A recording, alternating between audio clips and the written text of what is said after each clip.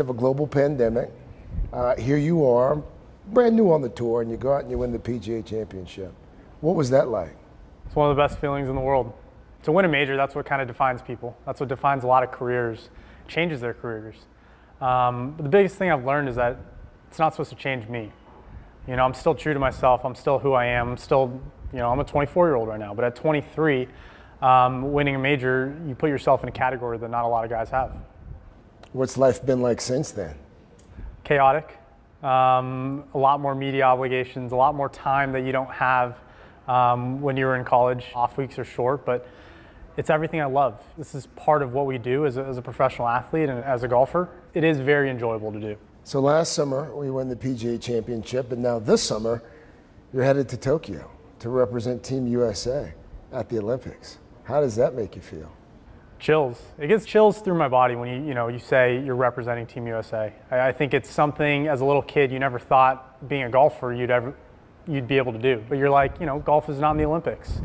So once it happened four years or five years ago now in Rio, um, you're like maybe I'll have a chance for Paris in a few years after I turn pro. Uh, going to college at, at, at Cal, there's so many Olympic athletes already there in swimming that you know I, I, got to become really good friends with one of them that plays water polo, and he's like, "What are your chances of making the Olympics?" And this is right at graduation, two years ago, and I was like, "To be honest, it might be one of the hardest things to accomplish. You have to be top two in your country, if not top four in the U.S." And two years ago, um, obviously it's a goal, but you have to be realistic about yourself. As we sit here, you are the fourth best golfer in America uh, number four on the tour. How does our team look? What are our chances in Tokyo? I love them. Uh, I love it. You look at the, the roster of guys that we're going to have on our team, um, really strong, really young, but very strong. And I think that just kind of shows golf in general, not just in the US, but around the world, that a lot younger guys like myself are coming out ready to turn pro and ready to make, you know, make a statement. What is it about the sport that, that you find so so enjoyable, if, if not exhilarating? I seek perfection, and I think a lot of people do, but you can never perfect this game. There, there's never been a perfect round, yet we strive every day to try and do it. You know, we wake up every day not knowing where the golf ball is going to go. We wake up, our mind might be thinking about other things, but right when we step out on the tee, you have to be focused for not one hour, not two hours, but five hours. It's draining. So, you know, yes, it's not as physical as a lot of sports. Um, you don't have to be some size or weight, whatever, to compete. But that's what makes it great. Anyone can, can come play golf. Well, as someone who, who has tried to play for a number of years now, not anyone can play golf. You can try. Yes, can I can try. try. Uh, you know, I've always enjoyed the fact that I consider it a solitary sport, but you said something recently that caught my attention. You, you said, no, it's a, it's a team sport. What do you mean by that? I, I get the credit. Tiger Woods has gotten the credit. All these players, all these golfers have gotten credit, but it's not just us that get here. We have agents, coaches, family, sponsors. Um, there's so much more that goes into it. You know, you follow other sports and you talk about how important a coach is, how important hiring a coach is. It's that's just as important to them as it is to us because you know, if, if, everyone's not on that same wavelength, wanting to reach for those goals, striving to be the best, um, you're going to have little hitches in there that, you know, you're not pushing yourself to, to your full potential. You mentioned Tiger Woods. Um, let's let's talk Tiger for a second because perhaps you've heard uh, folks refer to Collin Morikawa as the next Tiger Woods. When when you hear that, what do you think? I haven't. yes, you have. I haven't. You've heard it. I haven't. No. Um, I don't think it's a fair comparison for anyone. I think it's an honor to be ever categorized or talked about in the same manner. When you've reached a goal like winning the PGA at such a young age and you're in that group, or you know, for me, turning pro and making my first 21, 22 cuts, being second to him, it means you're doing something right.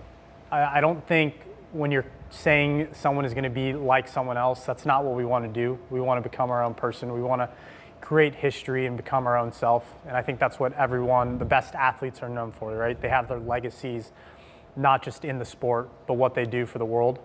Um, and I think, but when you are compared in those same categories or something that he's done, um, it's meaningful. It means you're on the right path. Yeah.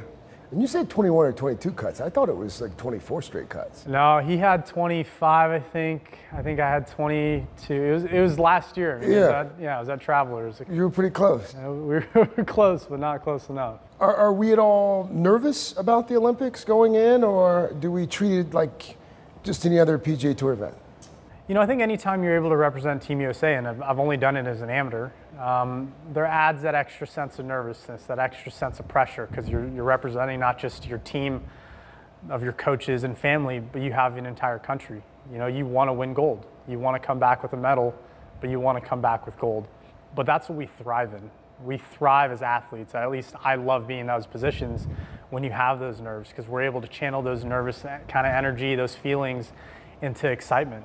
And that's what I love. I want to be in that spotlight. You want to be in those pressure situations. Recently watching, you know, Team USA swimming trials, those people have been training for five years now for possibly you have a 50 meter freestyle race for 10 seconds of their life, right? 100 meter race down the track. It's amazing to me what kind of pressure that is versus kind of what we have done and, and how golf has evolved into the Olympics. Sometimes the news can be difficult and overwhelming for kids to understand. Will coronavirus come back next year? So to help make sense of it all, we've created a newscast just for them. Man, you know a lot. We hope your family will watch Nightly News Kids Edition. The Meet the Press Chuck Toddcast, free wherever you get your podcasts. What should we watch for to find out whether this Geneva summit was worth it? What would it take for you to support this bipartisan infrastructure deal? What are the issues that the party stands for? That seems to be the missing piece here. If it's Sunday, it's Meet the Press. Talent and perseverance, inspiring America. I've been preparing for a moment like this for my whole life. I have lots of songs and lots of stuff to share. I want to show my daughter what it's like to overcome adversity. So many reasons to cheer for that young lady. NBC Nightly News with Lester Holt. Sometimes the news can be difficult and overwhelming for kids to understand. Will coronavirus come back next year? So to help make sense of it all, we've created a newscast just for them. Man, you know a lot. We hope your family will watch Nightly News Kids Edition.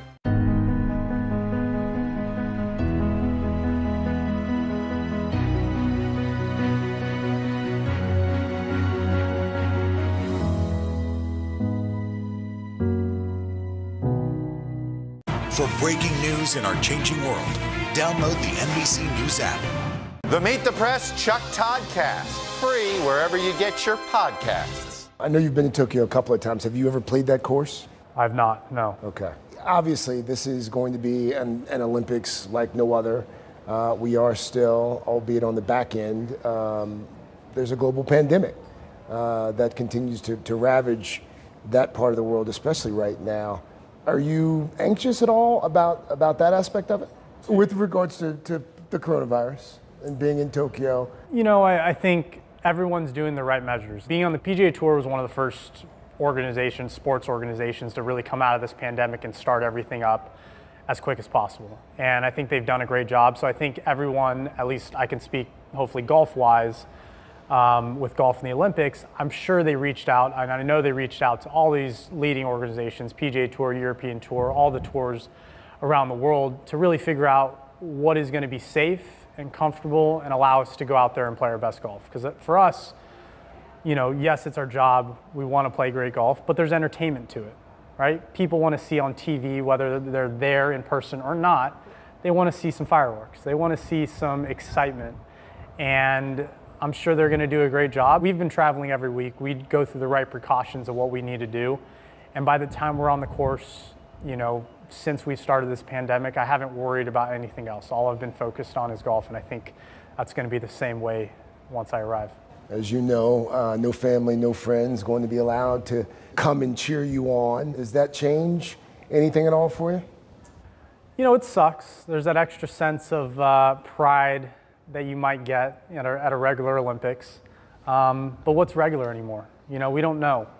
And you can't take away me being an Olympian and the memories I'm still going to create with Team USA. Hopefully, you know, fingers crossed, and we could keep talking four years later down the road. But to say that I'm an Olympian at 24 for Team USA Golf, um, it's the best thing in the world. There's just so much excitement, and, and there was no second thought for me about whether or not I would take this trip. It was, it was an absolute yes, and, and you know, it was a great consolation prize to not really winning the U.S. Open. Uh, yes, I guess that is quite the, quite the consolation Right. prize. Um, I, I hear that you, you're also a bit of a foodie.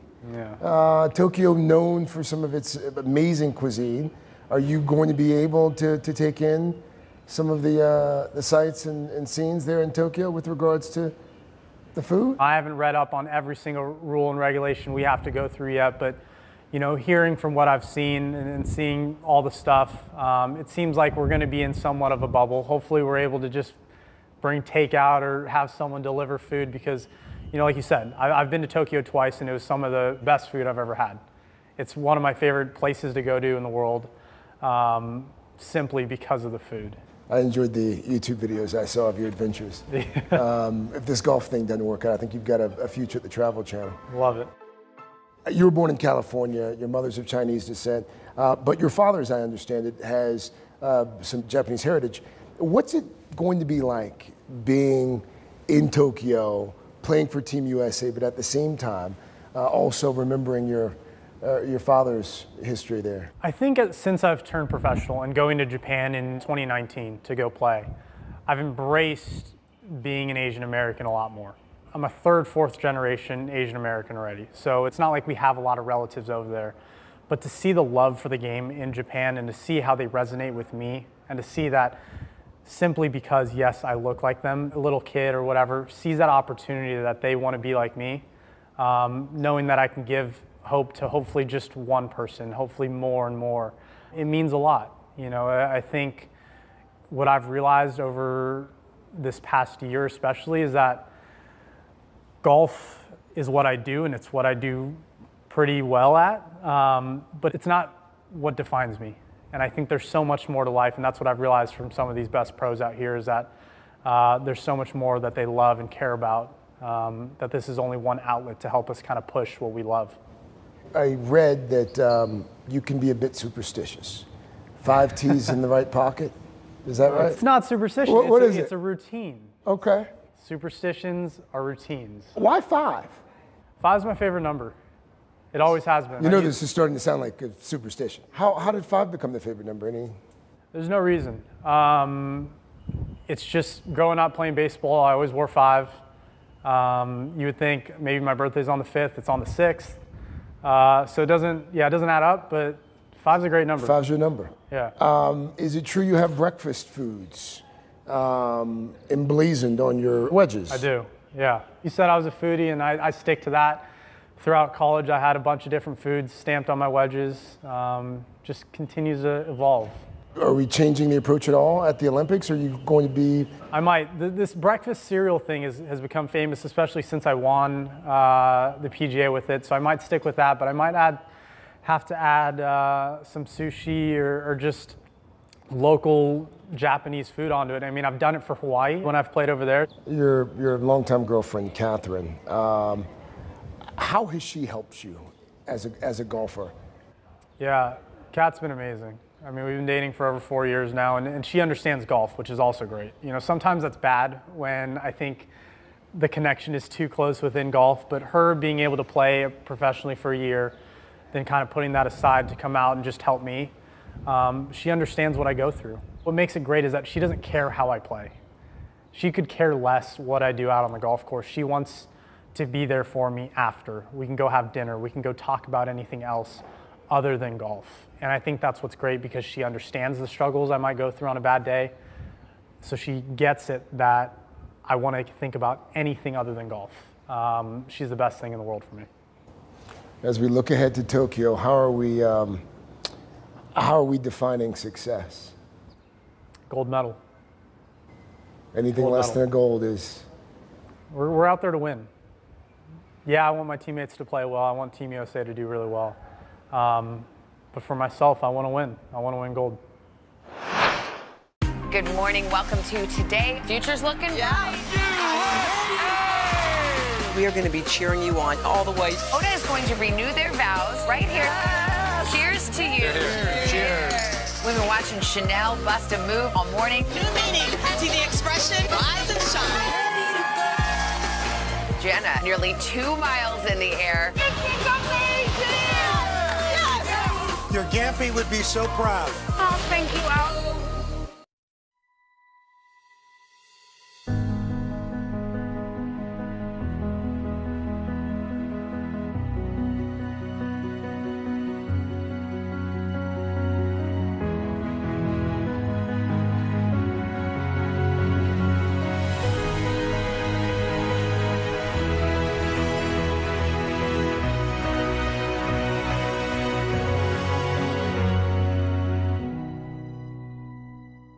It has been a long year. Yeah, where it's been anything but normal. Well, now there's hope.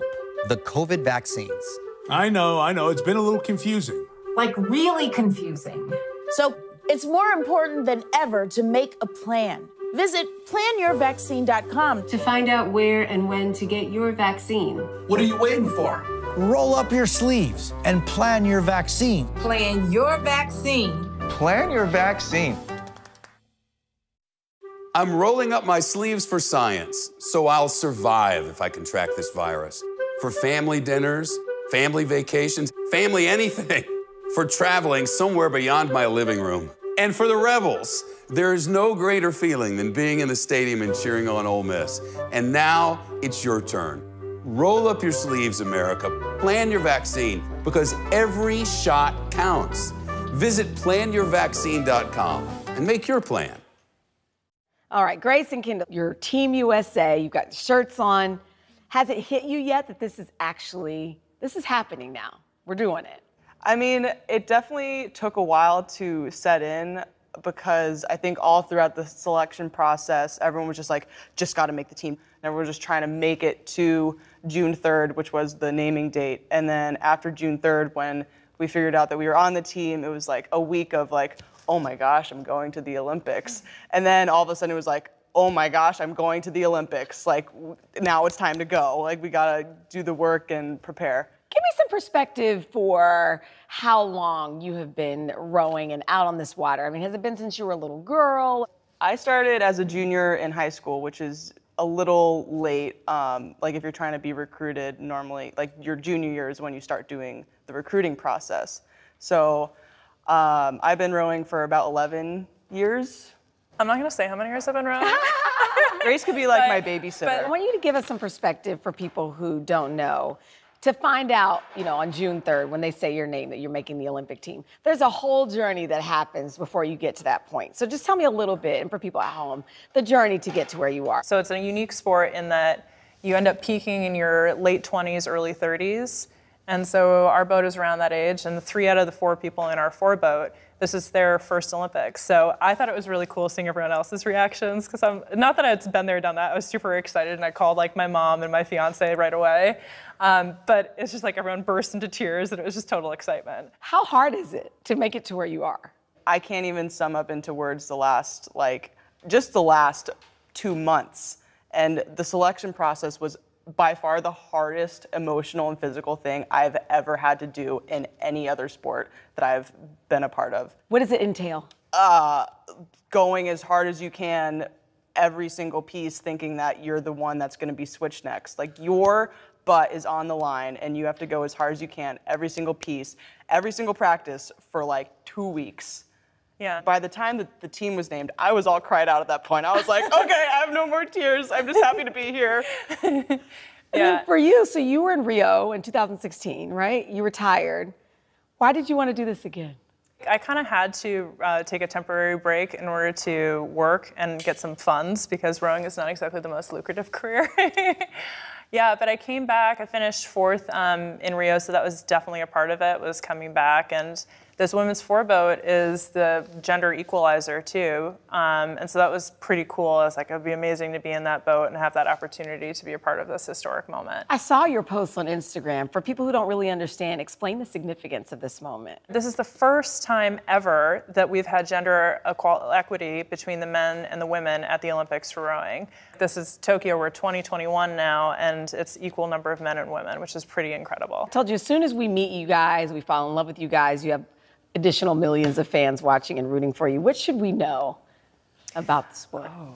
Rowing is the only sport where you face the start line, you sit down, you go backwards, and go on repeat. Yep. And, And, I'd you're, say, sli- you're just sliding back and forth on your butt. yeah, Our job is to sit on our butt and go backwards. You as make fast it as sound we so simple. and I, I know. you'll see soon. And where do you find the grit from when you're out on the water, you're exhausted, your muscles are like, please stop? A lot of it comes from being surrounded by these women. Like, I can't stop because me stopping affects my teammates, and my teammates are relying on me. And I think that's one of the most beautiful things about this sport is that it is like the most, like the ultimate team sport. Like, you can't be a beat off of anybody. You have to be moving with each other. You have to be going together in order for it to go as fast as possible. So And when you get that moment together when you're in perfect synchrony, you hear little icicles under the water, you feel the boat flowing, and you feel the power. You can feel the muscles of people's legs pushing behind you. It's pretty incredible. That's amazing. Yeah. You should be a writer. It's fun. It's fun. For breaking news in our changing world, download the NBC News app. Tonight, we're on the scene as the urgent search for survivors is underway after the deadly collapse of a high rise building. Buildings don't fall down in America like this. The Delta variant. What does this mean for people who are fully vaccinated? NBC Nightly News with Lester Holt.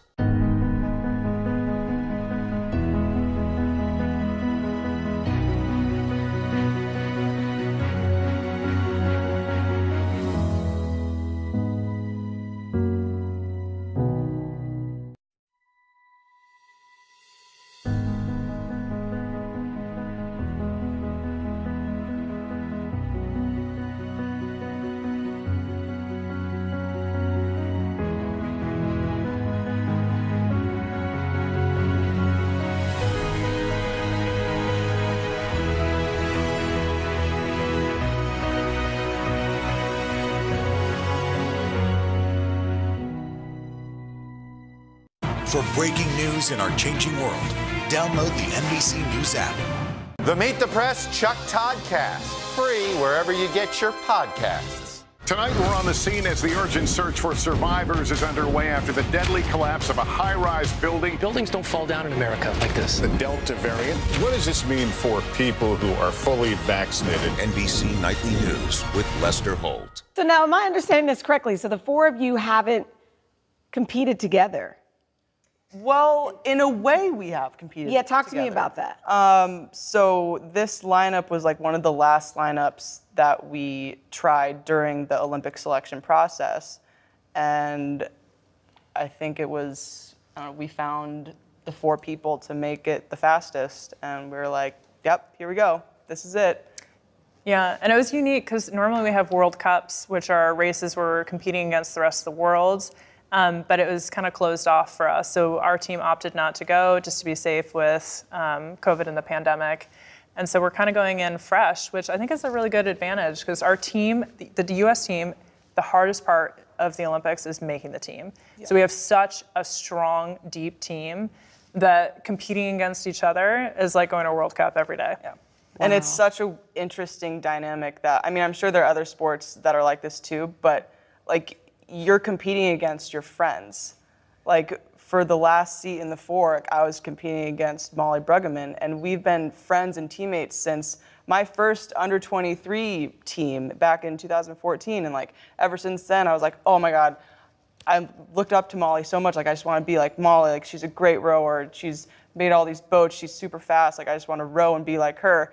And then I, in a way, took her Olympic dream away because I beat her by the slimmest of margins.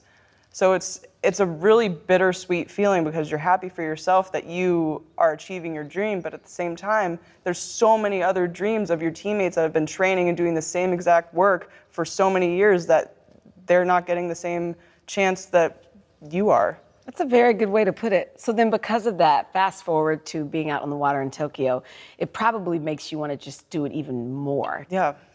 Yeah, we um, definitely have had pieces already, like after the team has been named, where we're calling Power 10s for everyone that's been a part of the training center this whole year. Because it's not just the four of us who are representing the US, it's the entire training squad. And so I think that gives us extra motivation. Just everyone on the team, the power of all of that. And what does it feel like to be at the Olympics? You've been there before. Oh, it's pretty incredible. It's pretty incredible. yeah. yeah. I mean, down in Rio, um, so rowing competes first. So we didn't go to opening ceremonies. We were dressed up in our outfits, waiting for everything to happen. Um, just kind of sitting in our rooms watching on TV, wow. just like everyone else was. And we competed, and then afterward, we were able to watch all of the US teams compete, and it was just so incredible. Go to like all of the sponsor houses and all of the other country houses, and it was just so cool. When kids are tiny, they talk about they're at the Olympics, or we're going to do this like, you know, we're going to be in the, you dream of this moment. So do you feel that when you're there and you see all of these different sports and you guys are all there together competing for the country? Yeah, it's kind of like you're like tapping on your TV screen, like, oh my God, Serena Williams, like in the elevator with me. Are you real? like, let's take a selfie.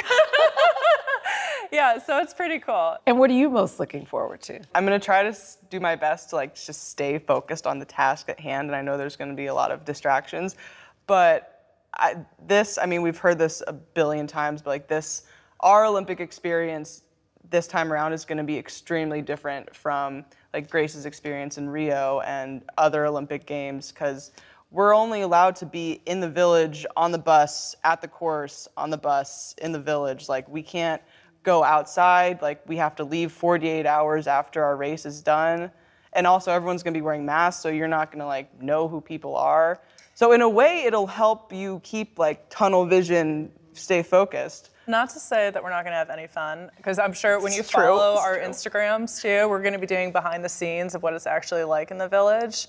So I'm Row Gracie on Instagram, and okay, Kendall yeah. has I was her like, tell TikToks. us. We, would yeah. love to cheer. Yeah. Are you kidding? TikTok was my quarantine hobby, I guess you could say. I, mean, I definitely need to up my game to yeah. give the Olympic content to the people. So we're going to keep it fun and light, and then obviously focused on racing. Grace, if I were to ask you what the other three women bring to this team, what would you say? Uh, extreme fitness. Rowing is a power endurance sport, so these women um, have been training, building up strength and power. They have the highest VO2 maxes in our sport of rowing um, compared to all other athletes except Nordic skiing. Um, so they've got the power, they have the endurance, um, all of the grit, as Kendall said with the Olympic selection, that was definitely something that solidified our boat. And also just like lightheartedness. Like we have this really good dynamic in our boat where everyone's joking back and forth. We're extremely focused at the task on hand. But Claire, Maddie, Kendall, and myself, I think are all just, you know, here for having fun too. Yeah. We take ourselves seriously, but you can't take yourselves too seriously, or else you're just gonna be button heads. I yeah. can understand that. We got a all good right. thing going. Do you feel good about it? I think our boat has a lot of potential. And the interesting thing, like Grace said earlier, there hasn't been, or there haven't been a lot of um, boats, like our competitors, going to these World Cups that there usually are. So we really don't know what the competition is going to look like. I mean, all we can do in the sport of rowing is like focus on your boat and making it go as fast as you can, because you, I have no impact on the other lane unless somehow Grace decides to like steer on over there, which doesn't happen. Um, but like if we just focus on ourselves and making ourselves go as fast as we can, I think we can do really well. And your families, what do they think? It's actually really cool. The USOC has um, a party kind of thing for all family and friends down in Florida where people go down and they can watch. So I think that'll be really cool. But it's not going to be the same as but Japan. they'll be together. But it'll be cool, and everyone will be able to watch. Yeah, my dad's been telling me about all these like T-shirts and lawn signs and viewing parties he's oh. organizing. I'm like, Dad. I don't need this right now. they now. have like, as many parent Zoom meetings as we do practice. Anything else you want people to know? Um, I hope they enjoy watching rowing. It's a, it's a great sport. Not a lot of people pay attention to us outside of the Olympics, but we have historically done very well, and I think hopefully we will continue to that legend that our uh, the women before us have set.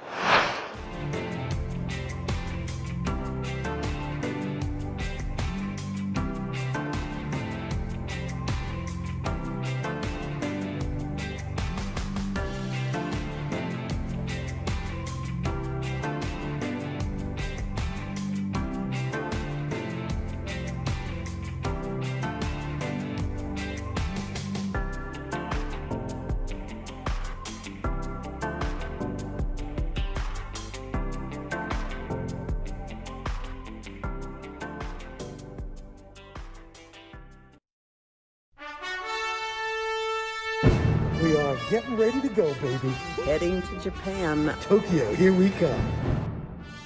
Good morning from Tokyo. Today's home away from home. This is our Today Show Olympic workspace. Our writers, our producers, our crews.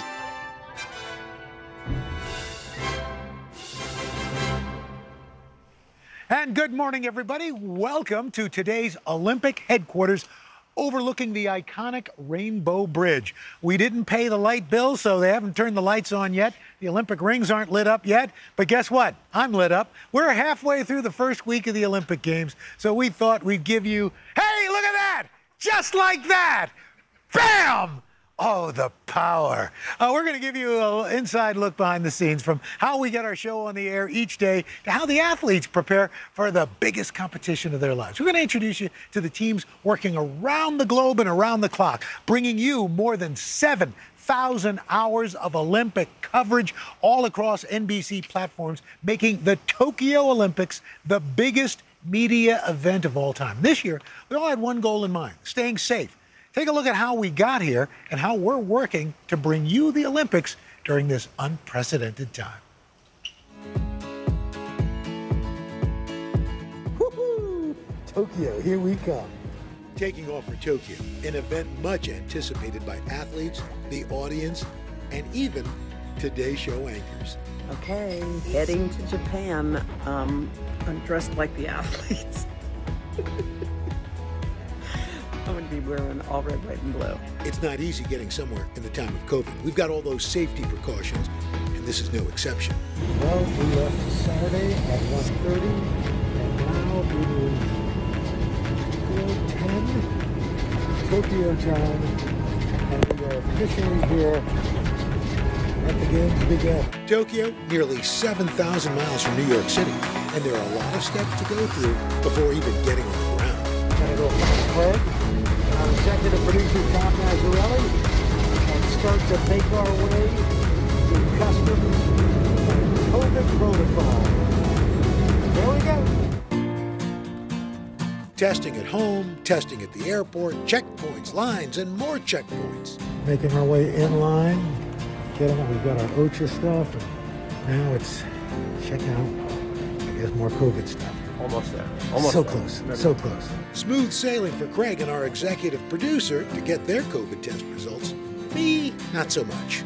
So your testing numbers come up on this board. Uh, uh, Craig's came up, Tom's came up about 10 minutes ago. I'm still waiting. We all went together. So this is the first hitch, at least for me. Oh well. So far, what are you gonna do? And a negative test result is required to enter. And so I wait. All right, gentlemen. Well, I've uh, got to get another test, so boom. We'll see you guys later. Hopefully. Good luck out. All right, we'll see you at the hotel. We're with you. But finally, after four hours at the airport, well, made it. At the hotel in Tokyo, and it is gorgeous.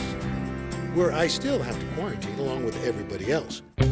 For safety, we're broadcasting from our hotel, making it work and home all in one. Good morning from Tokyo. Today's home away from home. There are ways to make quarantine fun. For example, Savannah using the time to work out in her room because we can't go to the gym or even really outside. The only times we are allowed out is for a 15 minute a day walk. Walking, walking, more walking. Though short, it is a chance to discover some treasures unique to Tokyo, like the endless vending machines. Japan has the most vending machines per capita, more than 4 million. Keir Simmons is out of quarantine and experiencing some more of what Japan has to offer. Al, my brother, when you get free from quarantine, you're literally going to be able to breathe again by visiting ancient forests like this one. One thing you should note, the bears roam free here too. But we can't forget why we're really here the games. And even though we've had to test and prepare for this, it's nothing compared to what these athletes have been working so hard for. Go get Hoda spending the day cheering on the women's gymnastics team as they brought home the silver medal in the team competition Oh my God, look who's here. Wait, look, look, look. Oh, just go, go, go, go. As the competition heats up in Tokyo, athletes swinging by our studio with their medals. And even though COVID has prevented the normal audiences from being in the stands, we all still cheer on our athletes and appreciate the hard work everyone's put in to making these games a reality. We're just getting started. Stick around for more never before seen behind, seen behind the scenes footage from here in Tokyo and how we actually get our broadcast on the air each morning. Plus, later, Savannah will be joining us live.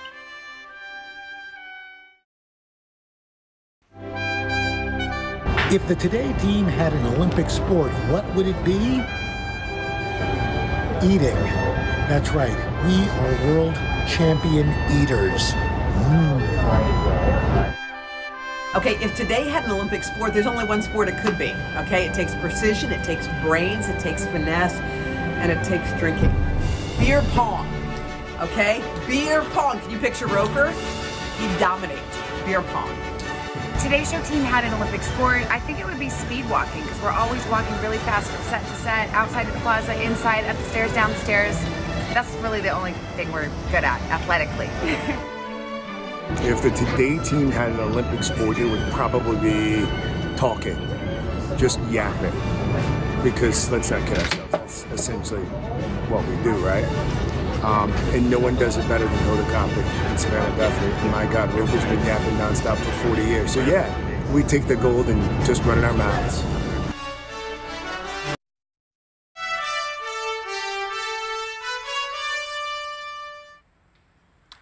And welcome back. We're here live in Tokyo. I'm here with my friend Bob. Uh, we're giving you a behind the scenes look at how everyone here at NBC works to bring the Olympic Games to you at home. So, how does the show get on the air? That's what I was wondering, Bob. Take a look. This is what you see at home.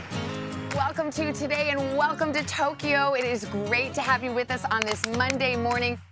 Sweeping views of Tokyo Bay, state of the art Olympic venues, We got ushered off to the bus and then onto the village. gold medal hopefuls roaming the athletes' village. Good morning. Welcome to today. Future's looking bright. We are going to be cheering you on all the way. Hoda is going to renew their vows right here. Cheers to you. Cheers. We've been watching Sheinelle bust a move all morning. New meaning to the expression rise and shine. Jenna, nearly two miles in the air. Your Gampy would be so proud. Oh, thank you, Al. For breaking news in our changing world, download the NBC News app.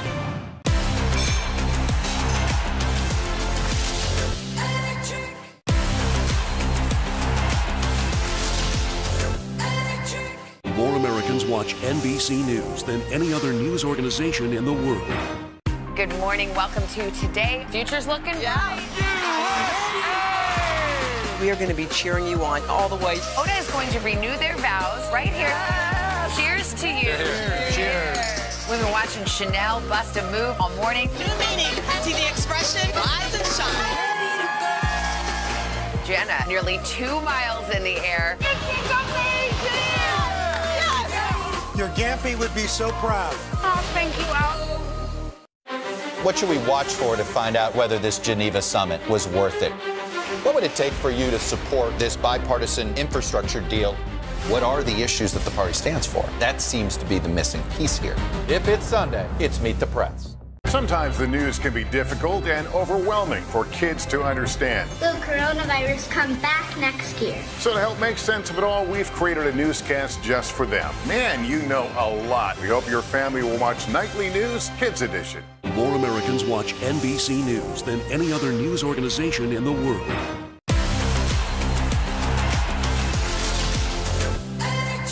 To go back to the village, I was exhausted.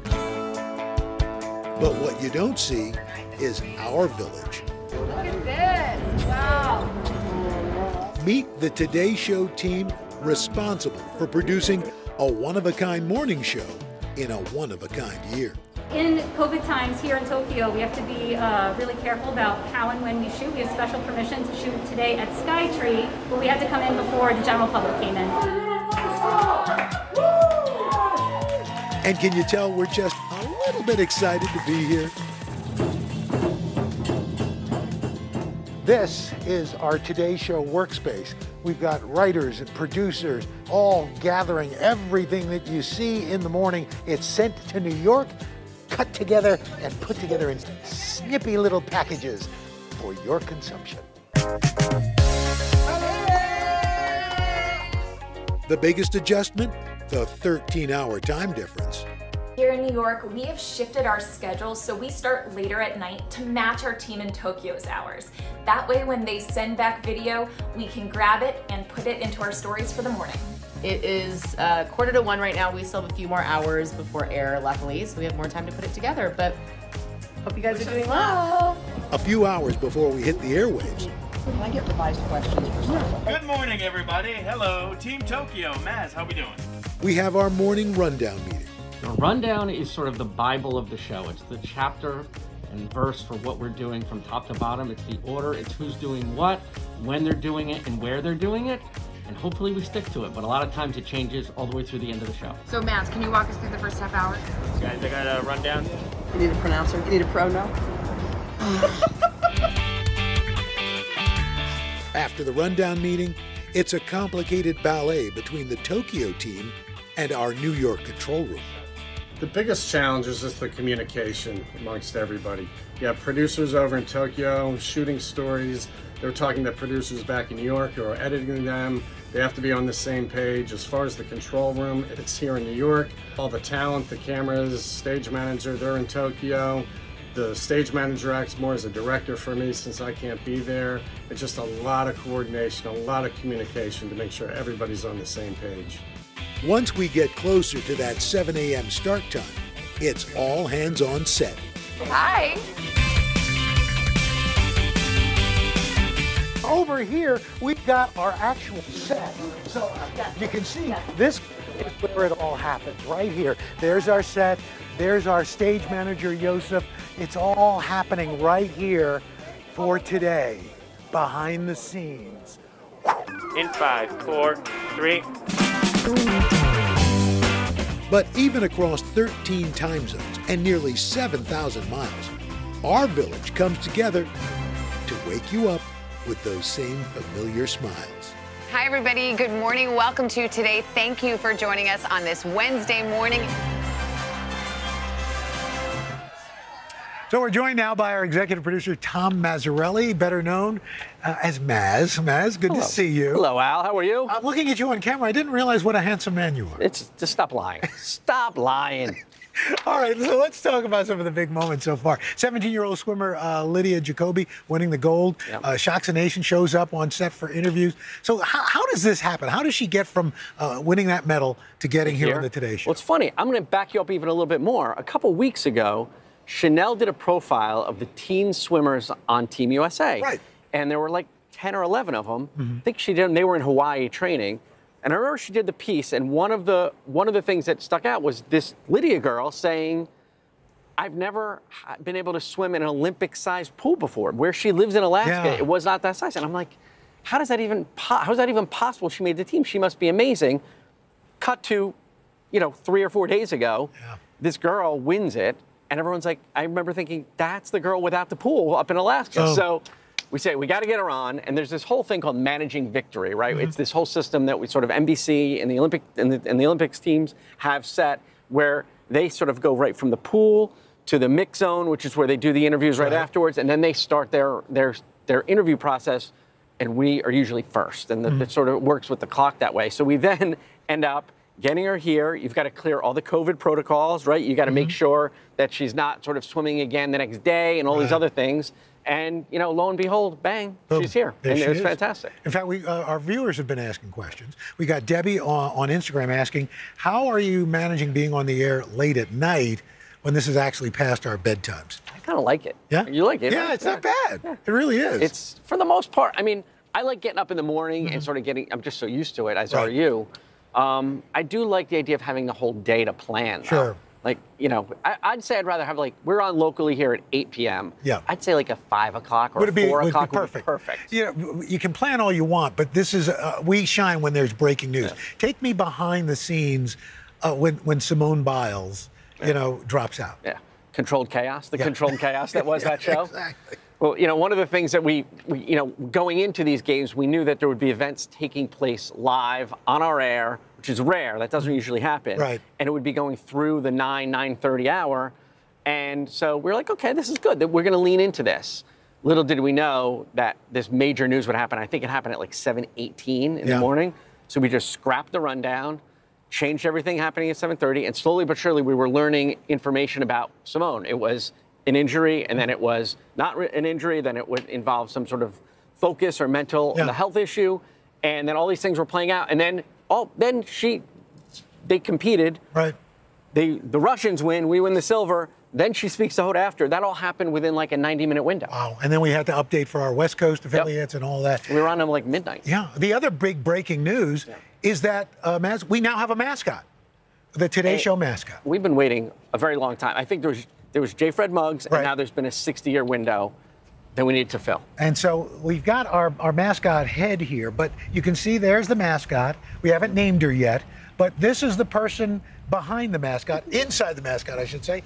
Well, Phoebe Weiner, good to see you. Good to see you, Al. So, so how did how did you end up inside the costume? So, a couple weeks before I left, Evan Klupt, uh, the director of production management, started CCing me on these emails saying, I'm so sorry, dot, dot, dot. And there were some, you know, markups of what the costume would look like, and I didn't really understand. And then slowly but surely, it became very clear that I would be wearing this when I got to Tokyo. And and what I what amazes me is your mom called you after seeing the mascot and said, "Was that you in the mascot?" Yes, I was a little bit embarrassed, and I didn't really want to tell people that it was me, but I think they kind of figured it out. Well, I think I speak for Maz. Thank you. Can I just interrupt for a second Yes. and just say, Phoebe is an incredibly cultured Japanese scholar. That's right. A Fulbright scholar. Fulbright A Fulbright scholar. scholar. Speaks Japanese, fluent. We brought her here for that. Bonus is she's a fantastic mascot. That's right. And uh, just remember the name, Phoebe Weiner. Uh, she'll be running NBC News in about oh five years. Exactly. Okay. I'm already packing my office, by the way. There you go. That's why we're all being nice to Phoebe. Yes. She's going to be our boss. Phoebe, thanks, thanks so much. Thanks so much. Maz, thank you, Thanks, bud. Al. When we come back, a look at into how the athletes prepare to compete. Plus, Savannah Guthrie joining us live. Don't go away. What do I eat for breakfast? Here, I'm waking up at the same time, and so I'm having my, my usual breakfast of champions. Little tiny chocolate donuts.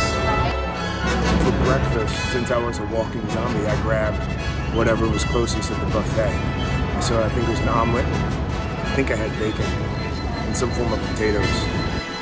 Well, breakfast was dinner, so I ate a full-on honkin' plate. Um, I had eggs, salmon, toast. I ate with roast. What color were your eggs? Orange. Color of that? Yes, it's like they're like red. The eggs Yeah. are funky. They taste good, but Yeah. they're orange. And how was your? What'd you do for Well, I didn't today? eat breakfast. I don't usually. So then I had a Luna bar because we went over to swimming. I know. I'm still getting adjusted, so I'm not a breakfast person usually, but today I was.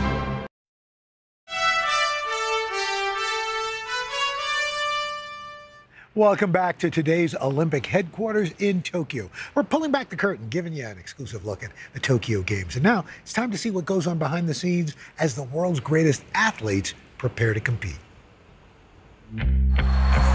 Kalisz is going to win gold for the United States, and Litherland is trying to make it a 1-2 finish for the Americans. Before the medals, the events, And that will get through. And here comes McClenny to try and win it, and the United States walks it off. and the COVID testing. A few items that are essential to our living here in the village. Every day we spit into one of these. All 600 plus athletes had to get to Tokyo. It's time for Tokyo. Let's get after it. The journey full of airport shenanigans,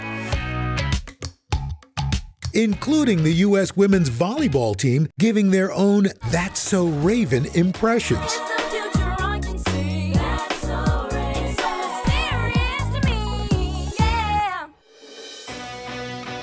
But finally, all the athletes making it and ready for the next stop Olympic Village. U.S. Olympian April Ross speaking to Savannah, giving her the inside scoop on living in the village. Tell me about your movements, what you're able to do, what you're able to see. It feels pretty normal. We're allowed to go to the cafeteria whenever we want. We wear gloves. We use a lot of hand sanitizer all the time. We can take buses out to the high performance center, um, to the venue, and it's pretty free flowing. You know, there's lots of guidelines, but um, to be honest, it feels decently normal here in the village. U.S. rower Michelle Sechser echoing April's sentiments. I do feel very comfortable here. It's unfortunate, I think, that it is, um, you know, receiving some of the negative press that it is, but honestly, in the village, I feel safer there than I have in any city in the States in the past 18 months. But there is one thing we keep hearing about. So I've been getting this question over and over again. I've been getting this question a lot. So let's dive into it. Those cardboard beds. Okay, so it is cardboard. Even under here, everything is cardboard, so you might think they're not very sturdy. Let's test it out. Hey, oh, she's sneezing. So peaceful. Probably the only one who could sleep on the bed. U.S. men's volleyball player Eric Shoji showed TikTok a full tour of his dorm room. Let's go. We have a fridge, a microwave, some coffee. Oh my gosh, our trash. This is our little living room, kind of small. And the best part is our balcony view. And Grace Luczak from U.S. Rowing giving her own behind the scenes tour. No Japan tour would be complete without the super tech savvy toilet.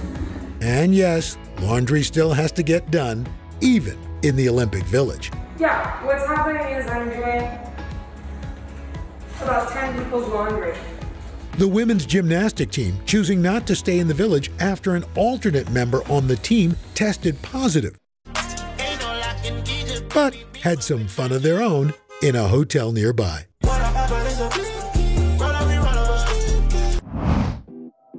And we can't forget about the food. Japan is known for their cuisine, and these athletes are digging in. Welcome to dinner.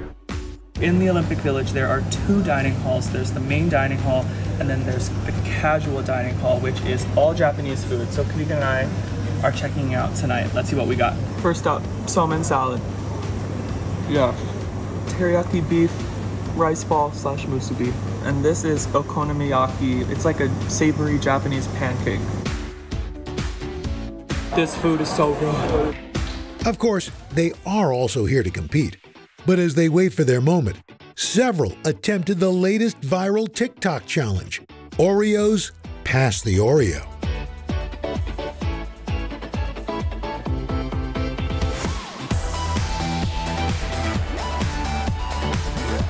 Team USA making the I'm rolling up my sleeves for science, so I'll survive if I contract this virus. For family dinners, family vacations, family anything. For traveling somewhere beyond my living room. And for the Rebels, there is no greater feeling than being in the stadium and cheering on Ole Miss. And now it's your turn. Roll up your sleeves, America. Plan your vaccine because every shot counts. Visit planyourvaccine.com and make your plan. Let's go. And good evening from New Orleans. There is breaking news. There you go.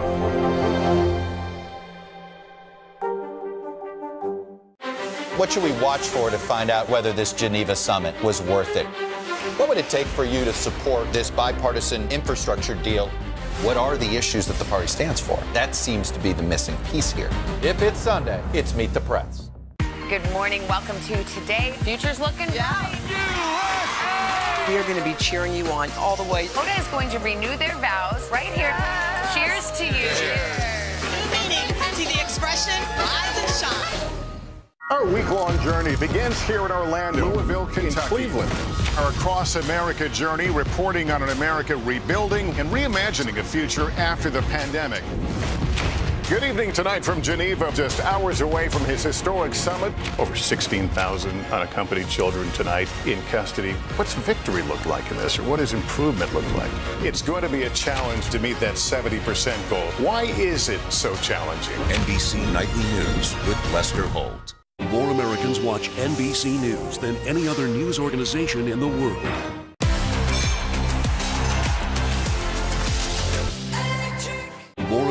Watch NBC News than any other news organization in the world.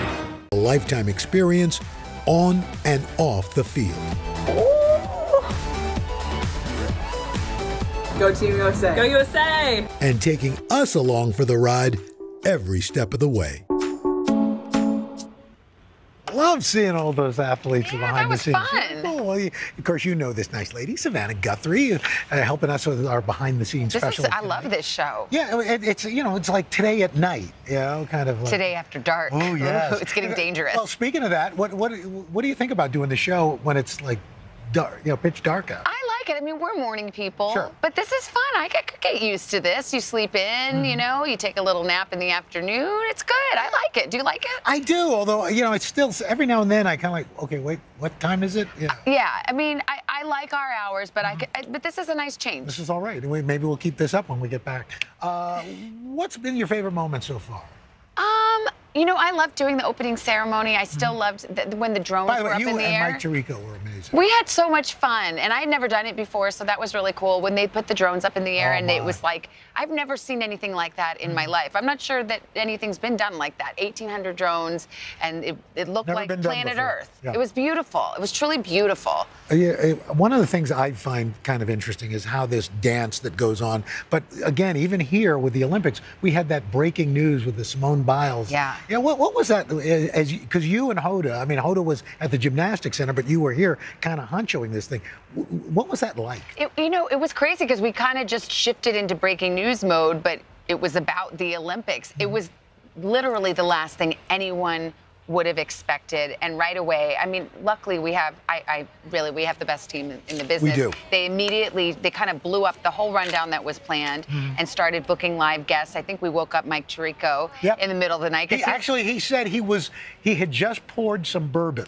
He was about to come. Down. Well, he seemed totally sober. I know, he- I don't he think he had drank. Yeah, I don't He think he had had it. any yet. He didn't have it. And he's such a good sport. He came down. You know, we're in the hotel. Our set is right at the hotel, so he's mm. probably up in his room. He came down. We started getting the gymnastics analysts on, and you know, it was all unfolding on our air. And Hoda was there, Right. So she was watching what was happening. And at first, we didn't know. You know, was it a physical injury? Then Mm-hmm. we learned it was had to do something with her her mental health. And so it was just we kind of shifted into that mode. And um, you know, it's pretty extraordinary. And I'm so proud of the other athletes who really stepped up and Yeah. rose to the occasion. They're incredible.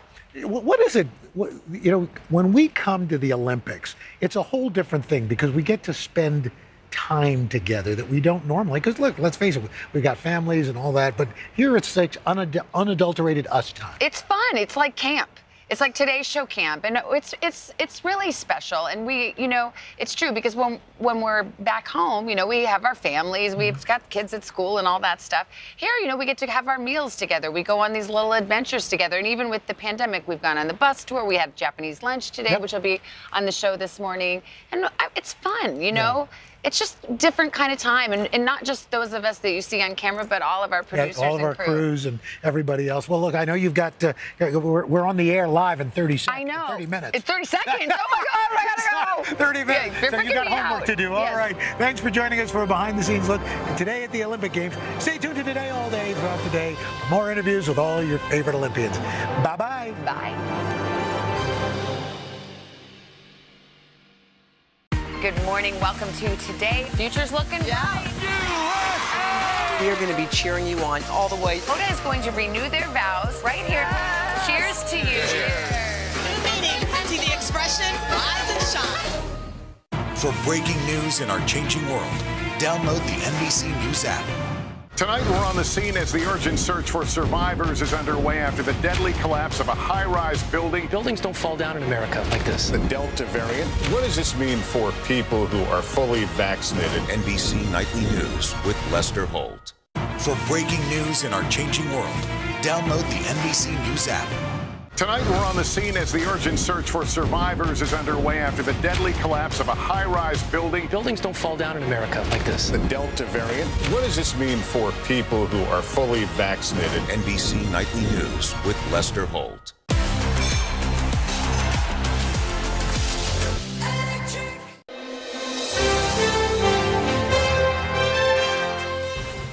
First off, let's start out with the fact that you're going to be the first class of surfers at the Olympics. I was looking at some home videos of you as like a little girl holding a small trophy. And I thought to myself, I wonder like this, even when you were little, I mean, it was never a possibility even to think that you could compete at the Olympics. Now it is a possibility and you're the first. That must just feel incredible. No, it feels amazing. When I was a little girl, the Olympics wasn't even a, like a possibility. It wasn't even something that I thought about. And it's been really fun to see how far the sport has grown and progressed in just the time that I've been on tour and been involved with the sport. Um, it's really come so far, and then to have it recognized at an Olympic level and to be a part of it is like such an honor. I'm so excited. And you've dedicated literally your life up to this sport to represent Hawaii. And, and I know how much that is a part of you. Must be also this just tremendous honor.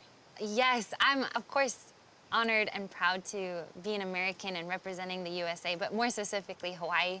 Um, we're a really tight-knit community and I feel just a connection to so many people here and I feel like I'll be going to the Olympics with all of them with me. Surfers have this like natural connection to the earth, to the environment, to like the natural world. I mean, that you have to be sort of one with the waves and understanding weather and wind and all of those things as a part of it. How would you describe sort of your relationship with surfing? What is that relationship? Surfing is one of those really unique sports because you are working with Mother Nature. And there's like this intangible connection that I feel like any surfer has with the ocean because, I mean, there's sometimes that you're sitting out in the ocean and you don't necessarily even see a set coming, but you feel it and you start moving in that direction. And then like 20 seconds later, there's a wave. And that's like, it's almost spiritual in a way. Um, because you have to really trust your intuition and your gut and feel what's around you. And I love it. I think it's really special. Yeah, and you sort of have to build that relationship. I mean, you, you probably don't have those instincts right away. It probably takes time to Yeah. sort of like like any relationship. You know what I mean? To know like the nuances of someone, you've got to spend time, like yeah, personal time. For sure. I mean, it takes years and years of and hours and hours and being in the water and having, you know, experiencing all the different kinds of conditions and then putting it in the memory bank and picking up on that during another day that's very similar, but it's never the same. So, yeah, it, it definitely takes a lot of time to figure it out. And you never actually ever have it figured out. That's probably the, that's probably the most challenging part. Yeah. Is you're like, I think I got this, and then she throws you a curveball, and Yeah. it's a wave you've never seen. Yes, exactly. Or conditions you totally didn't prepare for. And I think it's a very humbling thing. I love working with the ocean because it's never the same. You have to learn how to adapt and flow, and that's life, right? Is that daunting when it comes to competition? I mean, like if, if you're a skier, you pretty much know the mountain, you pretty much know the curves, you know the bends, like you know where the, the hard parts are.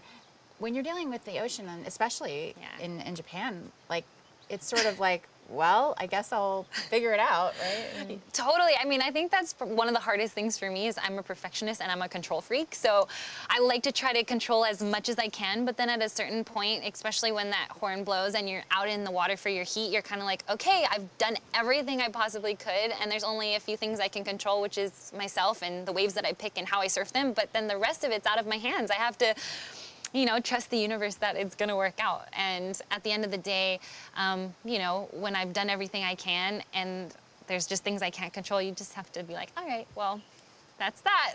Gotta roll with it. yeah. Yeah. What do you think it is about yourself that has allowed you to reach this point? I think there are a lot of factors that have gone into my success or just to where I am today. I think, you know, a huge part of that is my support crew. I wouldn't be where I am today without the amazing group of people behind me. That includes my dad as my coach, my wonderful husband Luke.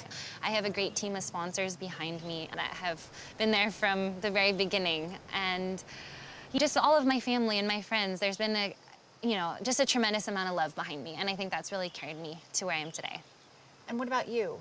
I mean, we know they've been supportive, Yeah. but what is it about Um, Carissa? There's just you that's going to the Olympics. So what? What is it? I don't know. I think that there's definitely that genuine love and that motivation for surfing and just wanting to do my very best in the water. I think that I really want to share a part of myself with people through my surfing and hoping that using that platform I can hopefully make a positive impact on other people. So I think there's definitely that driving force and I feel like it's really empowering for me to you know, set goals and overcome challenges and it's not always been easy, but I think that definitely has made me who I am today. Yeah, and speaking of inspiring, we were on the beach, saw the girls that you're mentoring. What do you think, if you could choose one message for them to walk away from you with, what would you want them to say? Carissa taught me this. What would you want the this to be? I think for me, for, for like that next generation of females, it would just be that you literally can do anything you set your heart and mind to, and that each and every one of us has been put on this earth for a unique reason. So to embrace who you are. I think just living authentically is um, super important. And the body image, that's that's a big, part of this, right? It's Yeah. teaching them to just sort of accept yourself. For sure. I think there's definitely a lot of different um, messages that I would love to pass on, and, and positive body image and self-confidence is something I definitely love to encourage. I know that I feel like a lot of young women struggle with that or go through that because, I mean, there's a lot of distractions. There's a lot of things going on in our world today, and um, it can be misleading at times. And so I, if I can just encourage girls to stay on your own path and stay true to who you are and know that you are beautiful just the way you are, uh, that would be awesome. Did you go through that journey? Did you struggle with body image? I did, I did, and I'm never gonna say it's perfect. I still look in the mirror sometimes and don't feel that great about myself, but I think there's strength in vulnerability, and so being able to share your story and share your weaknesses, I think that we all have them, so we can, you know, share them, we can come together and be stronger. Yeah. Yeah. Women in surfing is like, it's amazing how they're sort of taking over the sport in some senses. My husband, you know, surfed in Hawaii like years ago, and yesterday he was out surfing, and um, after seeing you, he was inspired to go get on the board. Awesome. So he, he was out surfing, and he's like, Katie, like when I was out here 10 years ago, it was me and 30 dudes. Yeah. He's like, I was the only guy on a board. He's like, it was all women. He's like, and I was like choking up. He's like, I was so excited to see that, like that the sport has changed its look. I mean, the landscape is different.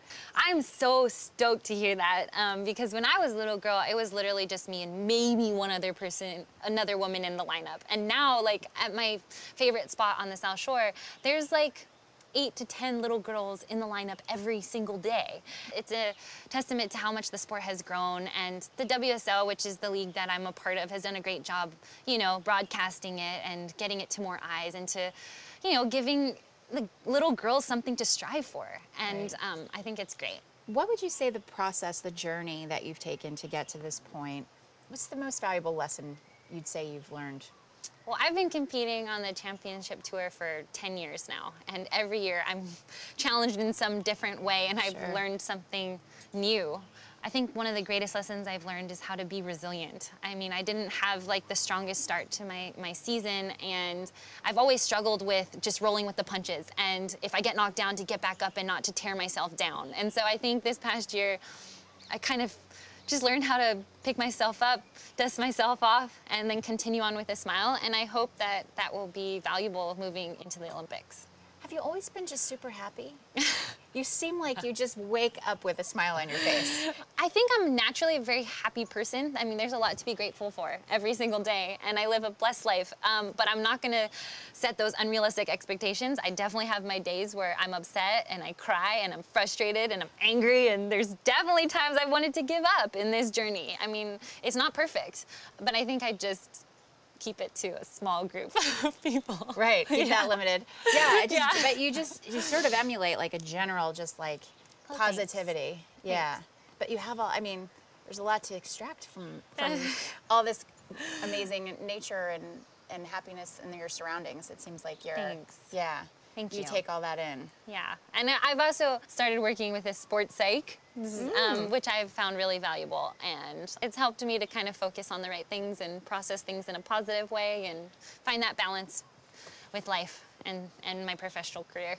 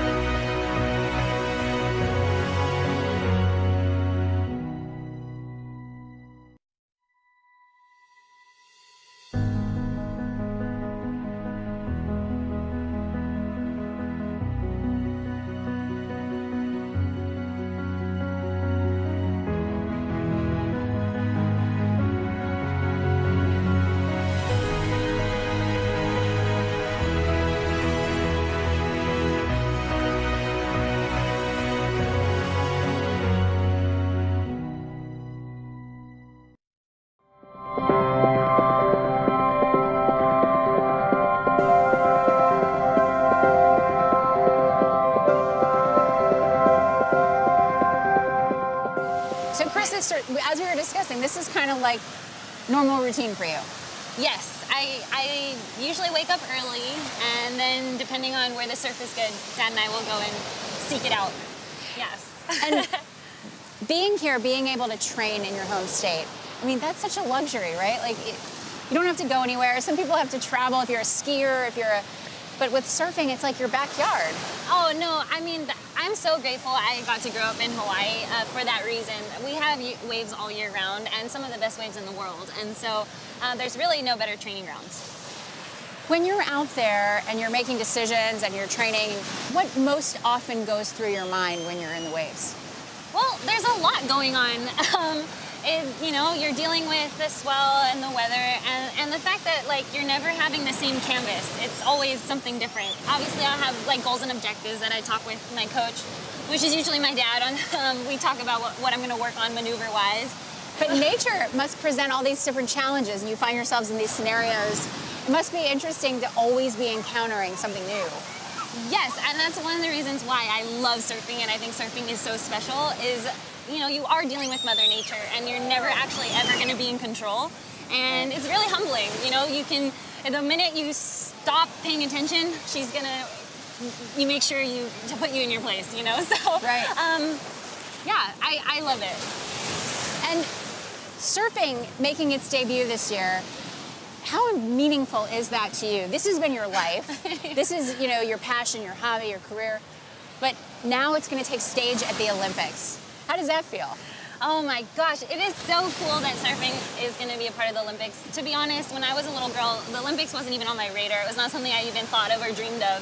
And I just being able to see how much the sport has progressed in the time that I have been doing it, is, and to the to the level of the Olympics is just so rewarding. And I'm so excited to be a part of the sport, and especially the women's side right now.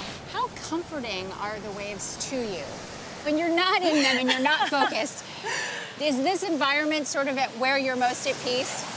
Um, you know, I d- definitely being in the water is where I feel the most at home, and surfing is where I feel most myself. But my home is in the back of the valley. It's nice to come here for work and then get away.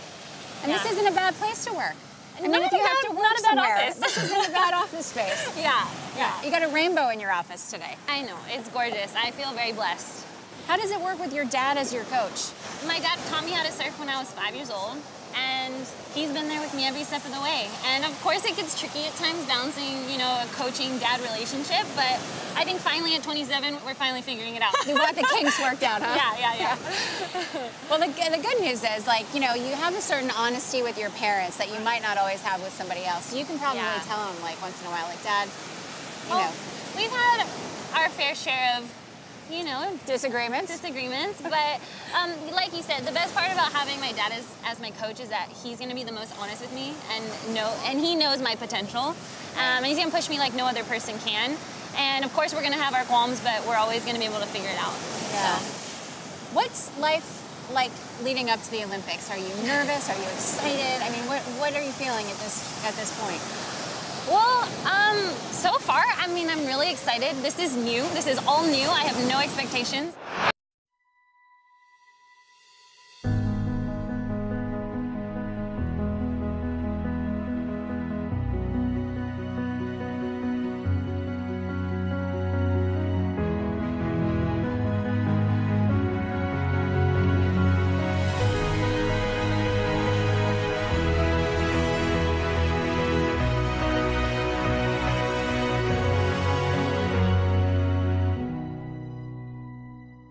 It has been a long year. Yeah, where it's been anything but normal. Well, now there's hope the COVID vaccines.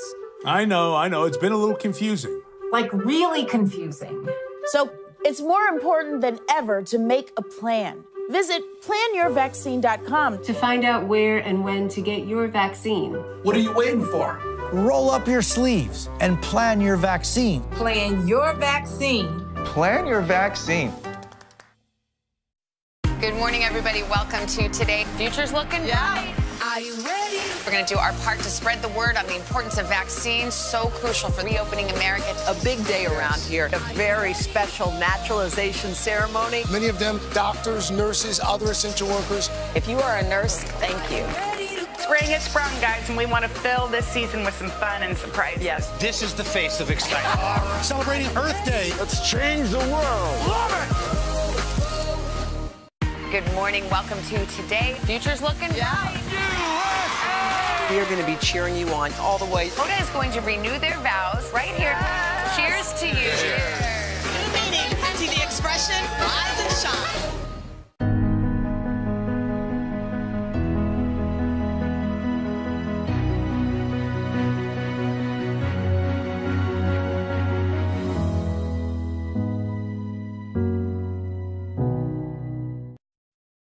I have to say, congratulations, because you're an Olympian now.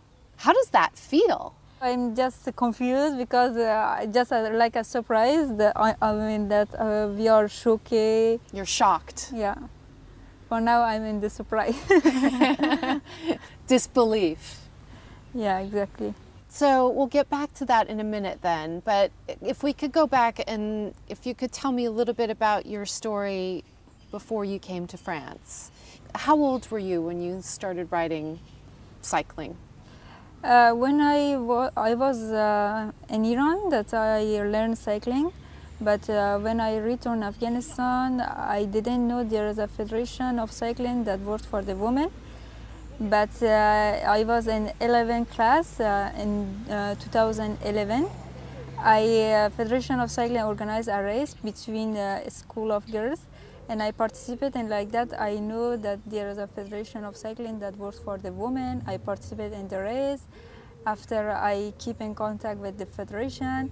Before of cycling, uh, I was the member of uh, basketball team in the school. I like a lot um, sport. I wanted to do the sport and I wanted to find my talent in sport and continue with the national team. I tried volleyball, basketball, taekwondo, and also I have studied sport. I, I did different sports like a ping pong, badminton, a lot of sport. But uh, I found uh, my talent in cycling. And every race, uh, the finish line, it was in the mountain. And I was um, always first position. And I know that I have talent in cycling at the beginning, when I found uh, my talent in cycling, I wanted just to improve uh, sportively. I wanted to improve my sport, but then I see that there's not a lot of girls in cycling, and uh, I see uh, the women who wanted to do cycling, they have a lot of problems. Mm, then my objective it was uh, to normalize, to help uh, for normalizing cycling for the women in Afghanistan. I wanted to show the women, to encourage them, uh, and also to encourage their parents to allow their girls uh, to do cycle, to allow uh, girls to do cycling because I don't see any difference between uh, women and um, men. Uh, when a man, uh, man can do cycling, why not a woman? there's no difference. And it was so strange for the people. When I participated in the race, they talk about me, Sometimes uh, they told me, why you uh, wear a scarf?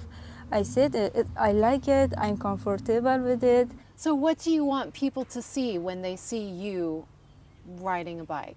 In Afghanistan, they think uh, that it's not good uh, for a girl uh, to wear uh, sportive clothes, to ride bike in the street. They, they never seen that it's strange, they think it's not beautiful. It, it not looks beautiful. It's better uh, that women stay at home or study, but not cycling, not a sport like cycling. They don't like, they think it's, it's not um, in our culture, in our religion. It's um, something outside of that because of that. Uh, and really it's not uh, like that. And just uh, to, to understand that uh, everyone ha has right to do what they want. I, we have to respect, I respect you, you have to respect me. It's just a question of um, understanding, logic.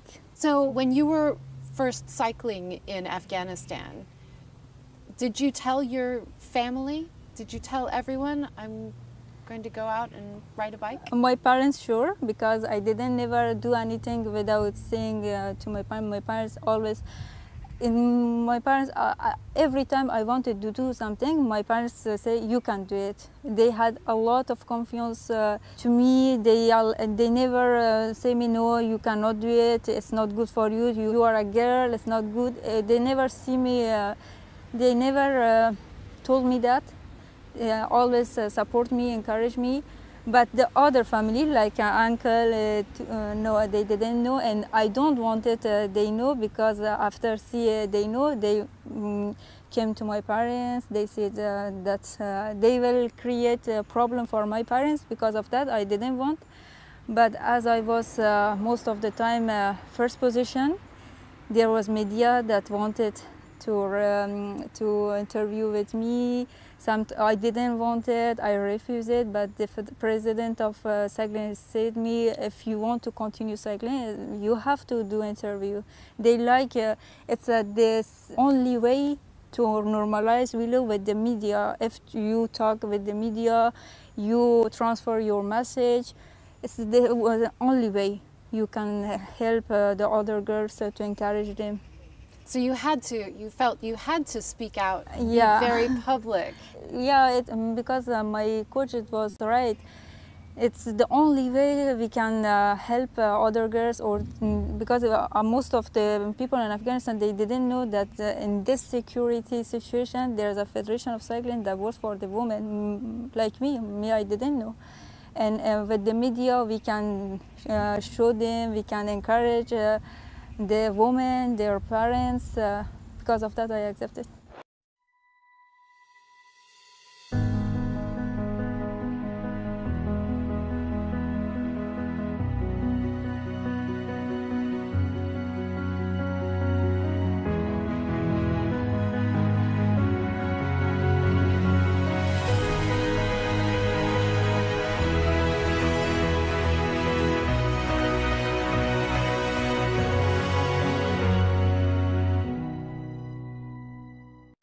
The news can be difficult and overwhelming for kids to understand. Will coronavirus come back next year? So to help make sense of it all, we've created a newscast just for them. Man, you know a lot. We hope your family will watch Nightly News Kids Edition. I'm rolling up my sleeves for science, so I'll survive if I contract this virus. For family dinners, family vacations, family anything. For traveling somewhere beyond my living room. And for the Rebels, there is no greater feeling than being in the stadium and cheering on Ole Miss. And now it's your turn. Roll up your sleeves, America. Plan your vaccine because every shot counts. Visit planyourvaccine.com and make your plan. What should we watch for to find out whether this Geneva summit was worth it? What would it take for you to support this bipartisan infrastructure deal what are the issues that the party stands for? That seems to be the missing piece here. If it's Sunday, it's Meet the Press. What do you want other women and girls to know about cycling? Freedom and to, to show that the women have a ability to do whatever they want. Can you tell me specifically, if you can, why it's dangerous for girls to ride bikes in Afghanistan?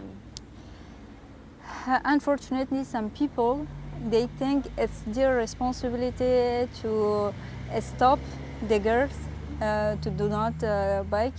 Uh, all of I think all of the girls who do cycling in Afghanistan they had uh, experience that uh, a man they try to to push them or to um, frapper. To hit them? Yeah, to hit them. And uh, they come out from the window and they they try to push. That's scary. I never know when I when uh, it's arrived to me. I know all oh, it's so dangerous. Uh, I heard it's dangerous, but I never know uh, the people can do really. After that, I never say to my parents because I know see if they know it, they will stop me because they're afraid. If the people can do it, they will do whatever. Because in the street, there's no police, there's no camera. See uh, if do anything. Uh, so you would have to ride with boys around the our, girls. Our coach, it was in the car farther away? Yeah, far away. How do you feel inside when you get on a bicycle and you ride? When I am on the bike, I see the nature. I like, I love nature, and also when I, uh, the wind uh, touch my uh, your face. Yeah, it's like uh, I'm alive. It's like a feeling of power. Power.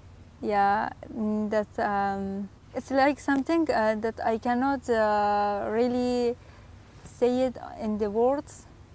It's hard to describe. Yeah, um, for example, sometimes uh, when I'm so tired, when I don't like life, when I do bike, uh, yeah, uh, I, I'm, I said to myself, why uh, I did it before, now I'm okay.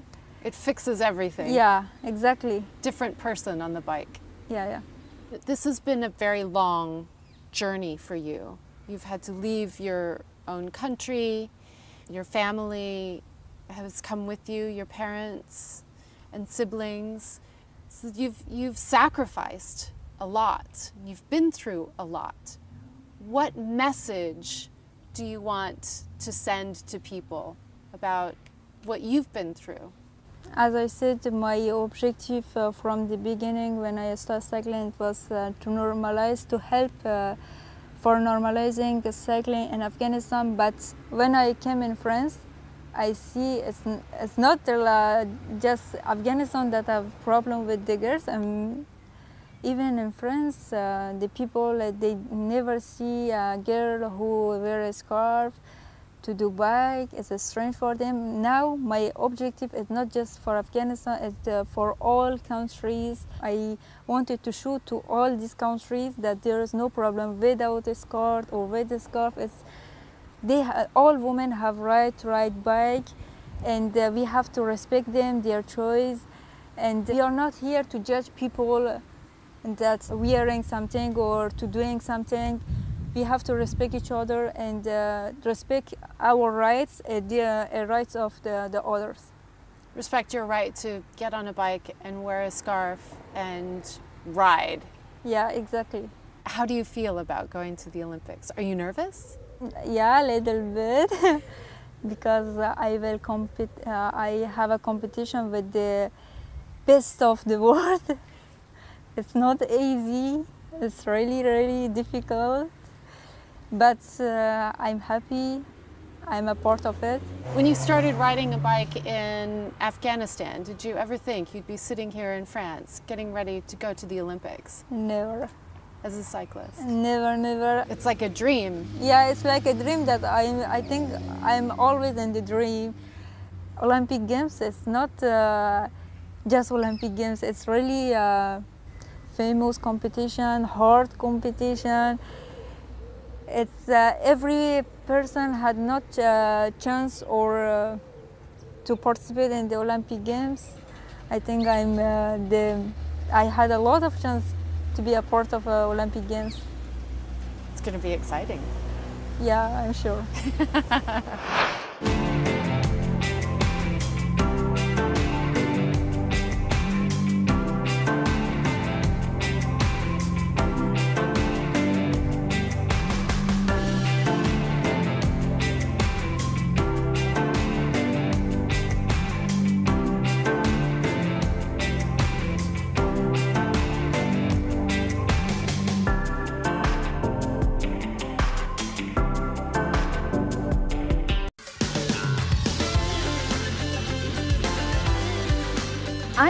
editor Chassie Post, and I know trends. Each week, I'm here with the must-have fashion and beauty products at a price you'll love in Style Finder. I'm Shop Today editorial director Adrianna Brach, and I'm bringing you industry insiders and those in the know to share all of the buzzworthy products sweeping social media and influencer trends. And I'm lifestyle expert Jen Falik, and I love finding the best versions of everyday items and elevated essentials a curated list of better basics. This is Shop All Day Gold Medal Products. Hey everyone, welcome to a special edition of Shop All Day.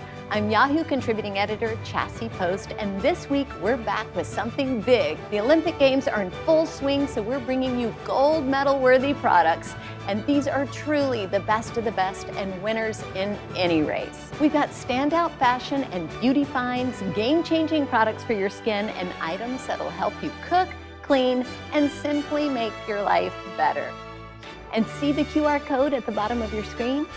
You can use your camera on your smartphone to scan it for instant access to the products on the show today. Or text SHOP to the number below to shop all the products we're sharing with you today.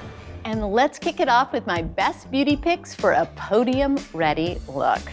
Okay, first up, we have It's a 10 Miracle Leave-In product. And this little leave-in conditioner, I mean, should win a gold medal for frizz busting. It's perfect for summer humidity, but this little product is a 10-in-1 product. That's why it's called It's a 10. So it doesn't just fight frizz, it also smooths your hair. It also protects against split ends and breakage. It can act as a detangler. It also protects your color. I mean, there's practically nothing that this little guy doesn't do. It is incredibly popular. So next up, I mean, we've got another beauty winner, and this is the NARS blush. And talk about gold medals.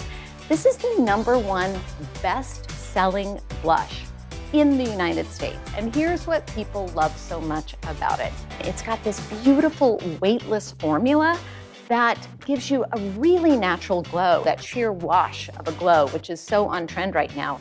But you can also build the product to make sort of more of an intense look. I love, you know, products that do double duty. Also, it's got 26 different shades. So this is such a wonderful find. But now let's talk about one of my favorite beauty hacks, and that is the Essence Lash Princess False Lash Waterproof Mascara. And this is the waterproof version of the mega bestseller original Lash Princess by Essence False Lash Mascara. It gives you that false lash effect. And I have to say, it really does look like you're wearing falsies. It's waterproof, which is key for summer. I use this brand every single morning. I mean, it makes them longer and more voluminous than mascaras that are, you know, several times the price. So my jaw always drops when I see the price on this one. So now we've talked about beauty. Let's now talk about some great fashion finds, starting with a trend that we have seen everywhere this season, and that is the jumpsuit. Don't get me started on one-piece dressing. One and done. I love it that it's so easy, but this jumpsuit is such a big trend right now because it's got the off the shoulder, which feels very Flashdance to me and in the best way. This little jumpsuit is also the number one best-selling jumpsuit on Amazon. And here's why people love it so much. It's incredibly comfortable.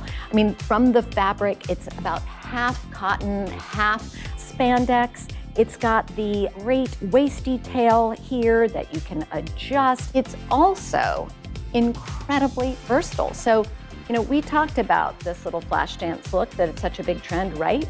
But you can also wear it like a regular t-shirt. So what that means is this jumpsuit is going to take you pretty much anywhere and everywhere you need to go. So now let's talk about a legging that is never going to go out of style and has a total cult following.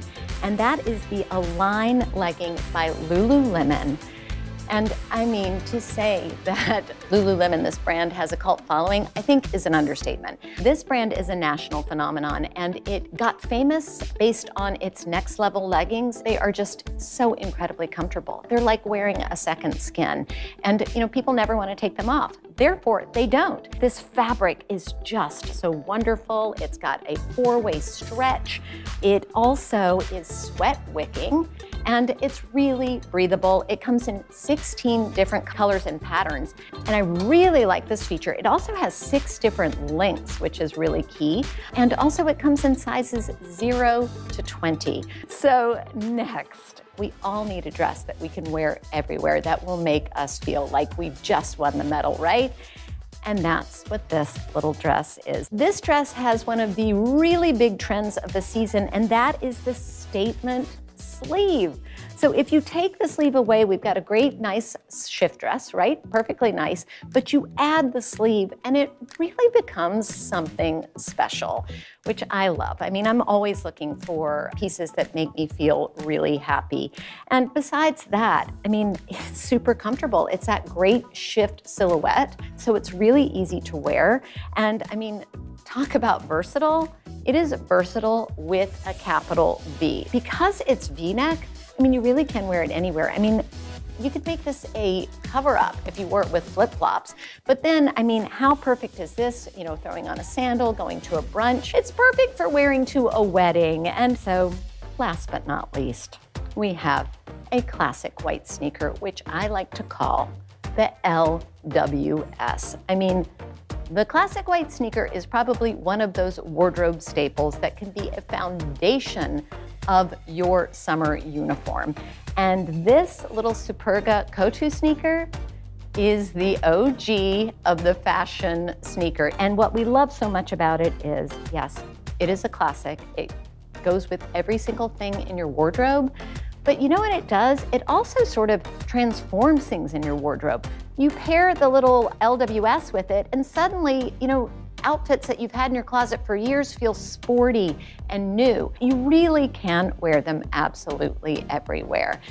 So let's run through these products one more time. And you can scan the QR code on your screen to get instant access or text shop to the number below to see all the products on the show. We've got the It's a 10 Miracle Leave-In product, the NARS blush, the Essence waterproof mascara, the off-the-shoulder jumpsuit, the Lululemon high-rise leggings, the bell sleeve shift dress, and lastly, the Superga Cotu sneakers.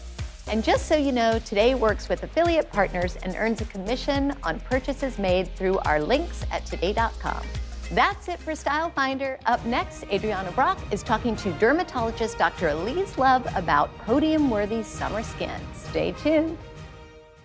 Good morning, everybody. Welcome to Today. Future's looking yeah. bright. Are you ready? We're going to do our part to spread the word on the importance of vaccines, so crucial for reopening America. A big day around here, a very special naturalization ceremony. Many of them doctors, nurses, other essential workers. If you are a nurse, thank you.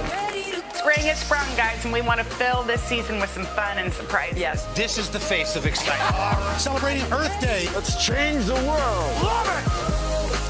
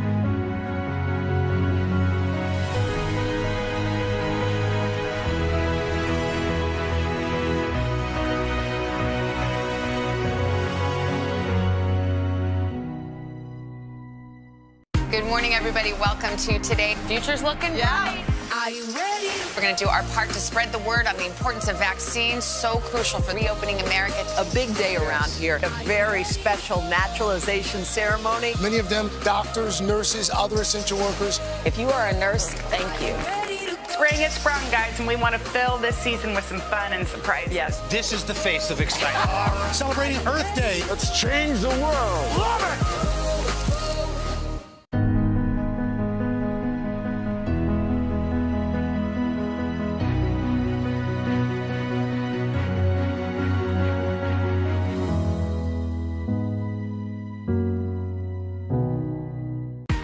Morning. Welcome to today. Future's looking bright.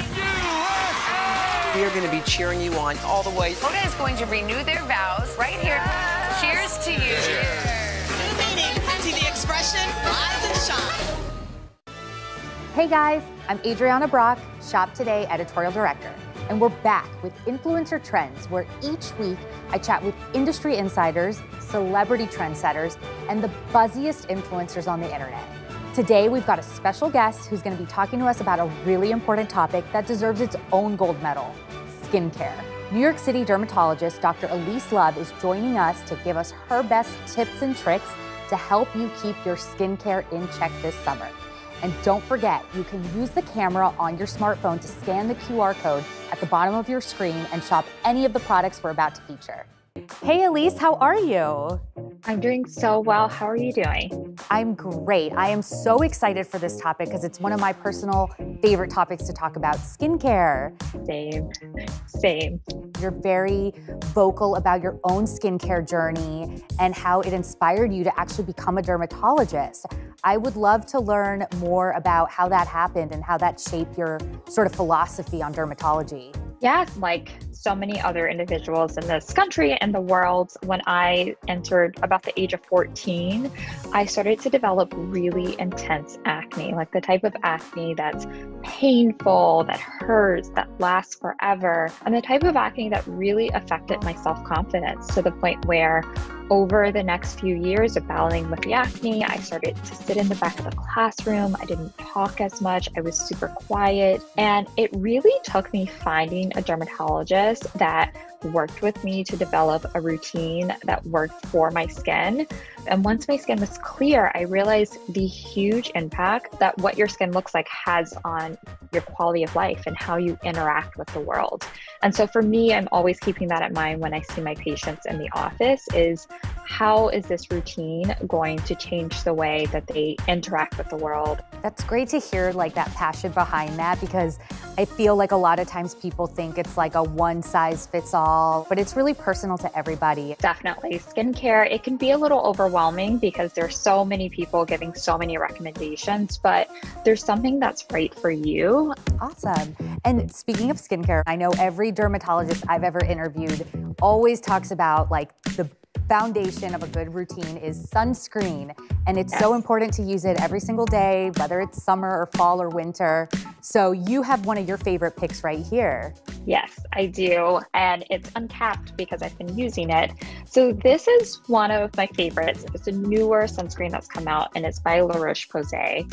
And the reason I love this is because the biggest complaint about sunscreen has been that it doesn't feel good on the skin. But this is a mineral-based sunscreen that is formulated with mm. hyaluronic acid and it's really kind of designed to be used by everyone every skin type without that thick white cast. So you get a good broad spectrum protection without feeling like it's heavy on your skin. It actually makes your skin look a little bit more hydrated. Yeah, I feel like one of the biggest issues with finding the perfect sunscreen is one that you're actually going to use. So this yes, one checks exactly. all the boxes. This one checks all of the boxes. And with sunscreen, you just have to explore, explore, explore. But this is definitely one worth giving a try. Awesome. And then moving on to an anti-aging product that you swear by and recommend that's not going to break the bank. And we just want to let everyone know out there that before you start a new skincare routine, it's always important to touch base with a dermatologist, right? Because some people could be yes, a little sensitive yes, to retinol, especially. Exactly. Retinol is my like favorite skincare ingredient because it really does everything. So, in the way that SPF protects you from a lot of things that can be damaging to the skin, retinol really helps to kind of reverse and soften a lot of the things that we would like to have softened and reversed. And so this one by CeraVe is a really great option because exactly what you just said, sometimes retinol, for all of the great things it does, it can be a little irritating. And summer is actually surprisingly the best time to try to add a retinol to your routine because it's not super dry. And so it's going to be easier for you to tolerate this product in the summertime than it would be to add it in the wintertime. That is so interesting. I would never think that you would use a retinol more during the summer, especially because yeah. sometimes there's some sensitivity that comes with the sun. Exactly. You always Yeah. want to pair it with an SPF because it can make you a little bit more sensitive to the sun. But your skin tends to be less sensitive in general to in active ingredients in the summer because it's more humid outside, it's warmer outside. You can just tolerate a lot more. You still want to start it slowly. A pea size amount is enough for the entire face and start it like two to three times a week and slowly add it into the routine. We always want to know what a dermatologist actually uses on their skin. And Yes. you have two products that I think you could find them at the drugstore.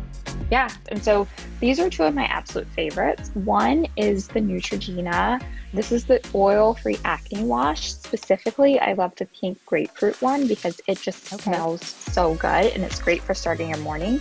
But this has salicylic acid in it, so if you notice that your skin is starting to become oilier or a little bit more textured in the summertime just because of that humidity, this is a great face wash to add into your routine just to get a little exfoliation and decrease the oiliness of the skin. They also make a body wash for the same reason. Yeah, actually, I use this one at home. And then the last one is also by La Roche-Posay. This is their Toleriane Double Repair Face Moisturizer. I love this moisturizer so much. I have it with SPF and without SPF. And so I like having just a moisturizer that has SPF in it because I know that I'm getting my SPF within my routine, but I'm not having like an extra layer um, during like the Monday through Friday days where I'm mostly at work. Oh, that's such a great idea. It's almost like the two in one and you're out the door. Exactly. So there are Yeah. no excuses. Oh my goodness. Well, thank you so much for sharing all these summer skincare tips and all these great products. Thank you for having me. This was so of much fun. course, Of course. Thank you. And this is a gold medal show, so we've got a couple of bonus products curated by our Shop Today editors.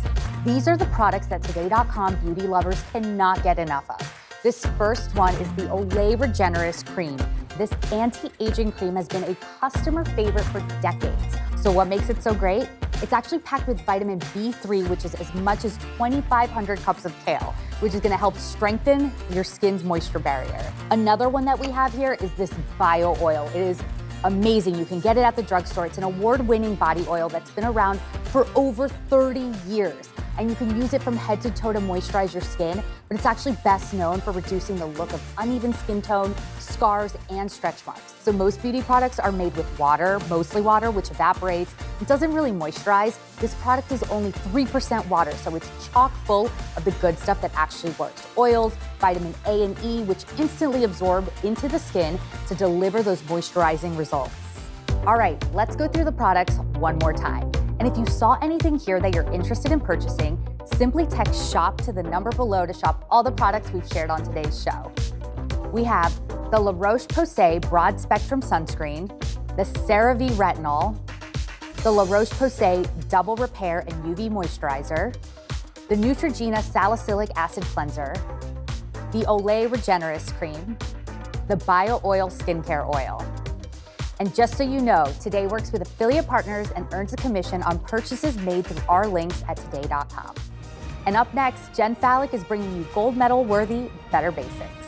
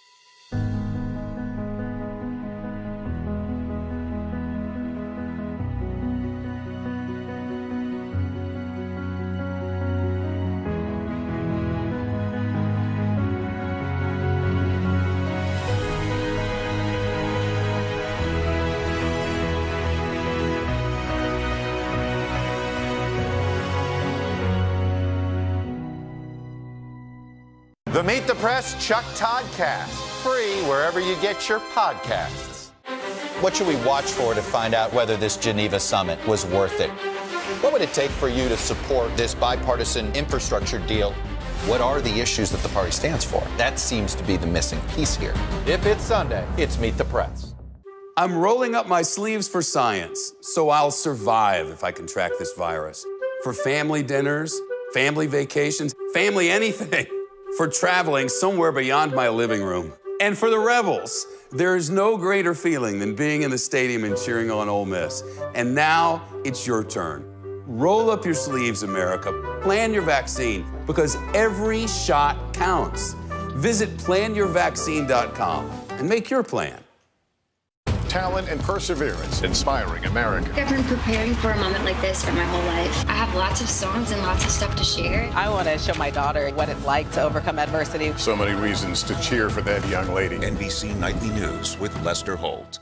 For breaking news in our changing world, download the NBC News app. Good morning. Welcome to Today. Future's looking bright. We are going to be cheering you on all the way. Hoda is going to renew their vows right here. Cheers to you. New meaning to the expression rise and shine. For breaking news in our changing world, download the NBC News app. Hey everyone, welcome back to Shop All Day. I'm Jen Falik and we are going for the gold. Let's start off with my list of better basics. And we are kicking it off with something to help you get a gold medal shine on your jewelry. This is the Diamond Dazzle Stick. I absolutely love this for many reasons. First and foremost, it is so easy to travel with. All you gotta do is snap off the cap and within seconds, your jewelry will be sparkling like brand new. It's a bestseller for good reason. The formula is amazing. The way that you apply it is so simple. You simply kind of click it up, you dab it, it gets in all the nooks and crannies. If you've got a friend who's recently engaged, this is maybe one of the best gifts that you can give them.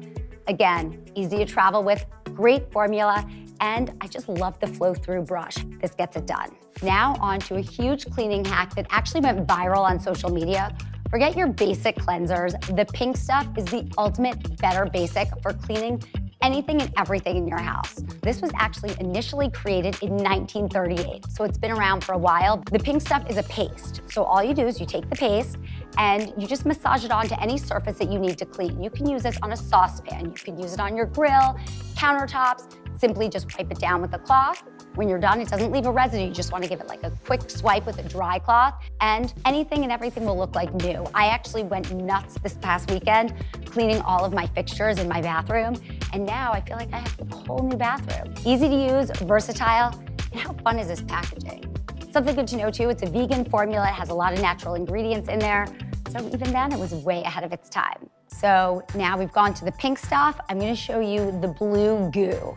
This cleaning gel is amazing. Initially, the TICARVE gel was really used for trucks to get all the dust out of the vents or those hard to reach places that you need to clean in a car. But it has found new life as the best way to clean out keyboards on all your devices at home. First of all, my kids were very excited because it looks kind of like slime, which they're obsessed with. And this one smells a lot better though. This is a lavender scent. You take the goo and you just press it into anything that you need to clean. It has a lot of natural ingredients in there and you can reuse it over and over again. It actually signals to you when it's time to bring in a new one because the color will turn dark. There's different colors that all have different fragrances. Way better than, again, your basic duster. Big upgrade. So now that we've cleaned and cleaned and cleaned, let's have some, some relaxation time, some tech innovations that are gonna help make your life a little more chill. First up, personally, the best pandemic purchase that I made was this. This is the Theragun Mini Sports Massager. It looks like it's little, but it packs so much power. You know, Theragun really is like the gold standard in home massage devices. And this is the most upgraded version that they have. It's ergonomic, easy to hold. You have three different speeds. It is an investment that is well worth making. You sort of see, I'll give like this, and you can just get into everywhere. Feels so good. Something else that I really enjoy about this one is that the Theragun Mini happens to be the quietest of all the Theraguns. It's small, portable, and one full charge is gonna last you 150 minutes which is huge because with a lot of devices like these, I find that you kind of use it, you get one side of your neck done, and then you need to charge it before you get to the other. So 150 minutes of usage with each full charge. Portable, easy to use, it is amazing. Like a professional massage literally at your fingertips. Next up, this is an item that will absolutely probably save me time, may save my marriage, will save my kids from screaming at me because the main reason that I am late pretty much 90% of the time is because I cannot find my phone, my wallet, or my car keys, which is why people are obsessed with the Tile. The Tile is a Bluetooth tracker and item locator, and there's different versions you can attach to different things. So what's great is you can take like the Tile tag, you can put it around your keys. People even use this on their dog's collars. You can take the little stickers, which are these little guys, put this on your remote control, put it on a phone as well, and there's this little slim right here that you can slip into your wallet. So when you're at home, within like 150 to 200 square feet, you can just find the device by sounds. You can search for it, it'll make a noise, you can find it from the ringtone.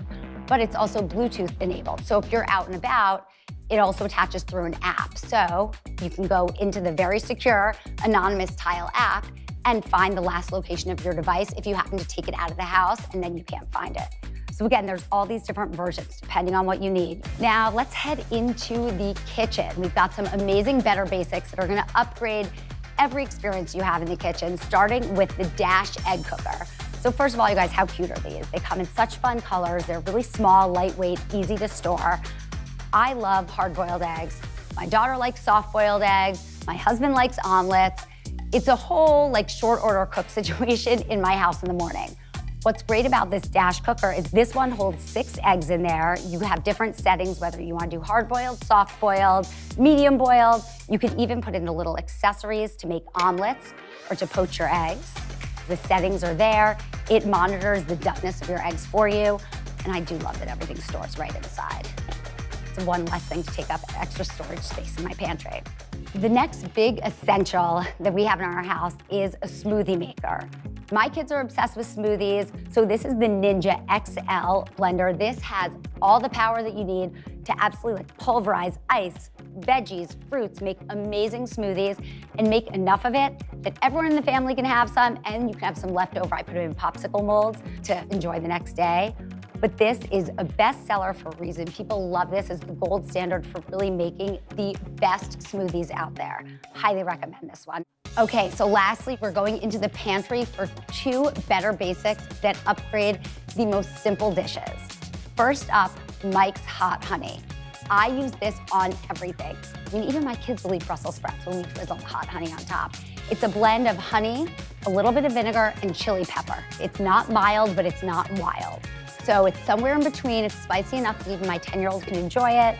And it just makes everything so much better. It's sweet, it's savory, it's all the things, and it upgrades like the most boring thing you could ever make suddenly becomes gourmet. I also give these as hostess gifts a lot. Great packaging too, so it's very gift friendly. And again, put it on everything. Every night I have tea.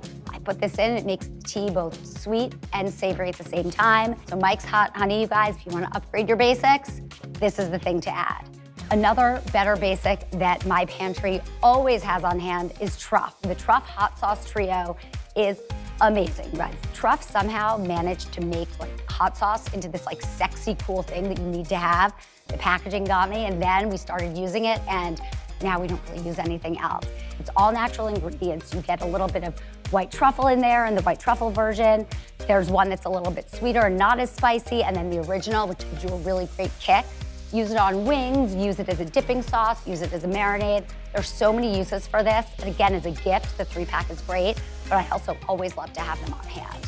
There's nothing more basic than just throwing some pasta on for dinner, but you make it a much better basic when you add the truff pasta sauce on there. And what I love too is that it has a really nice consistency, so it never waters down your pasta dish. Instead, it just enhances the flavor. So let's go through these one more time. You can use the QR code to get instant access to these products.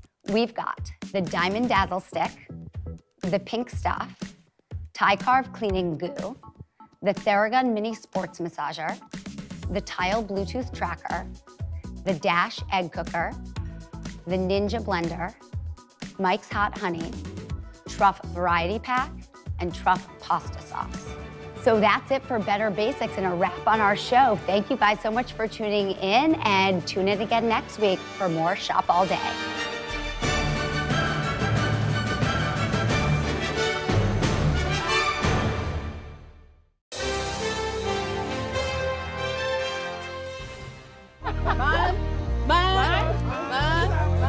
A big idea finally come to light. How does this feel? I mean, just a year ago, this was all just a dream. Yeah, it's very surreal that, you know, th- this is mine. you know, I mean, this is your corn. Yeah. Here on 39 acres of land in St. Helena, South Carolina, Chef Adrian Lipscombe is creating a sanctuary for black farmers. The welcoming center yeah. is over there. Right. Where they can grow their own produce and learn about the history of an industry that currently is less than 2% black. We were cooking as slaves, as the cooks in these kitchens. We want to recreate those kitchens. We want to celebrate, but also explain to others and to the public. We want the community to come to this land. We want them to be able to come celebrate on this land.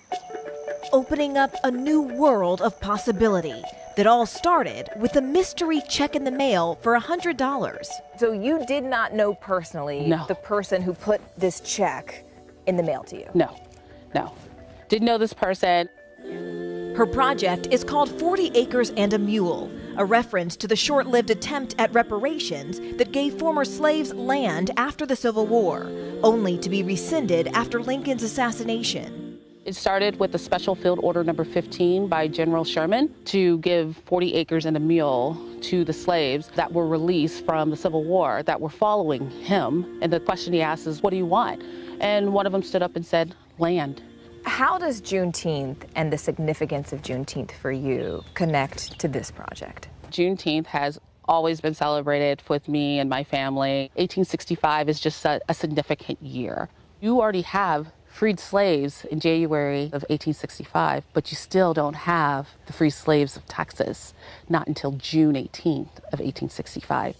By the next day, they're celebrating and they're saying, we are free. We can celebrate. And what is so interesting is that slaves weren't allowed to be in big groups. So a lot of those leaders came together and they bought land where they would go and celebrate Juneteenth. And food was a huge portion of this. The celebration of freedom. The celebration of freedom. You're right. Which is why Lipscombe, a mother of four who owns Uptown Cafe and Bakery in La Crosse, Wisconsin, decided to start her project here in South Carolina. A lot of history right there. A land uh, Slaves were here. Slaves were here. with deep roots and African ancestry. Land is huge. Land brings identity, land brings community, land brings freedom. It allows us to navigate in this world, to create our history, to respect our history, but also bring forth our future. Lipscombe was able to raise more than $150,000 in less than a year through a GoFundMe page and with the support of celebrity chefs like Mashama Bailey and David Thomas. As an African American chef, I am really interested in reclaiming the narrative where, where the food of this country started. Together, they're fixing up something special ahead of this Juneteenth, celebrating on their land in the best way they know how. Some of the best chefs in America are around this table. helping one entrepreneur fulfill a promise from generations ago Bless the hands that made this food. for generations to come. Amen. I see. Our week-long journey begins here in Orlando, Louisville, Kentucky, Cleveland. Our across America journey, reporting on an America rebuilding and reimagining a future after the pandemic. Good evening tonight from Geneva, just hours away from his historic summit. Over 16,000 unaccompanied children tonight in custody. What's victory look like in this, or what does improvement look like? It's going to be a challenge to meet that 70% goal. Why is it so challenging? NBC Nightly News with Lester Holt. Tonight, we're on the scene as the urgent search for survivors is underway after the deadly collapse of a high rise building. Buildings don't fall down in America like this. The Delta variant. What does this mean for people who are fully vaccinated? NBC Nightly News with Lester Holt. Sometimes the news can be difficult and overwhelming for kids to understand. Will coronavirus come back next year? So, to help make sense of it all, we've created a newscast just for them. Man, you know a lot. We hope your family will watch Nightly News Kids Edition. Tonight, we're on the scene as the urgent search for survivors is underway after the deadly collapse of a high rise building. Buildings don't fall down in America like this. The Delta variant. What does this mean for people who are fully vaccinated? NBC Nightly News with Lester Holt.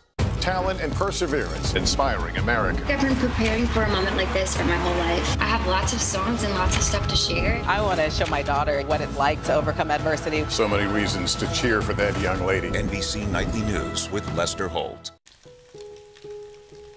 Food, in a way, unlocks a lot of stories. It's this emotional connection that we get through eating that food that is really irreplaceable. My name is Chitra Agrawal. I'm the co founder at Brooklyn Delhi, where we make sauces and condiments inspired by my family's recipes from India. My name is Katevi, and I'm the chef and owner of Dumpling Club, a weekly subscription service that features a rotating menu of dumplings and Asian dishes.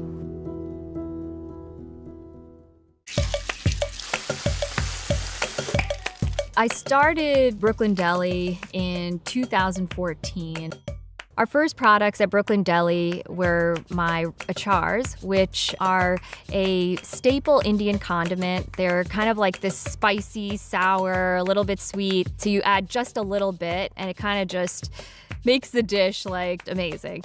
I developed a lot of the recipes for achar using what I was getting in my farm share. So I was making achar from heirloom tomatoes, garlic, gooseberries. I wouldn't say that it's authentic Indian food. It's very much inspired by my heritage, but it's authentic to me.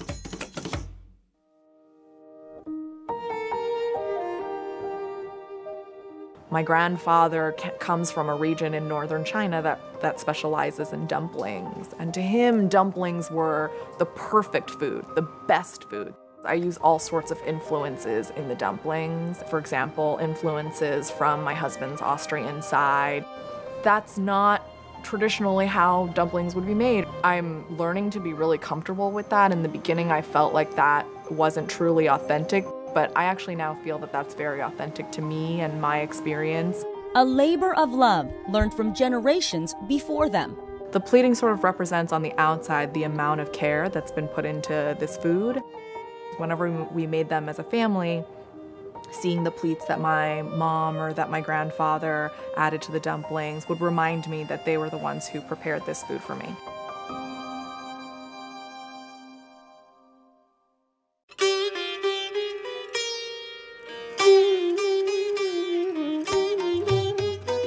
my father's mother, we were just very close. I can still remember the food that she would give me. I can still taste it. They're kind of like food memories from when I was really young, and those continued on as I visited her every year in India. Every trip, we would be in the kitchen.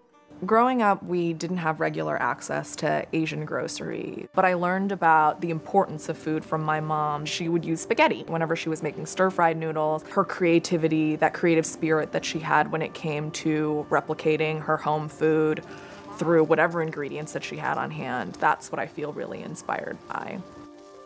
Both women left stable jobs for their culinary careers. It was a really scary time because, I mean, I had been working for over a decade in positions where I had benefits, I had an ongoing salary that I could count on. I left Google in the fall of 2019. And already that year, I was starting to make dumplings, send them around to friends and family.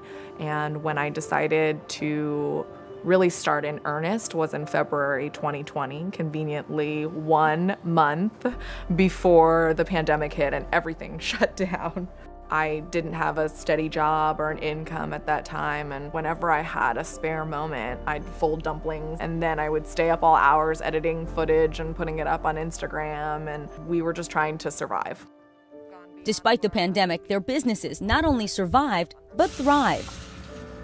Our public sales tend to sell out within a few minutes. One time it sold out in less than a minute. For us, it's been great because more people want to try the flavors that we're putting out there and want to learn more about Indian food and culture. Everything that I really learned how to make, I learned from different family members. So I feel like, in some sense, the Brooklyn Delhi recipes also are a way for our family recipes to kind of live on. When my parents came to the States, they really came here with nothing. And I'm super cognizant of that now that it's a huge privilege to be able to, to do what I love, to go after what I love. And that has come from years of sacrifice and hard work from my parents. And knowing that, I want to take that privilege and make sure that I do something really positive with it.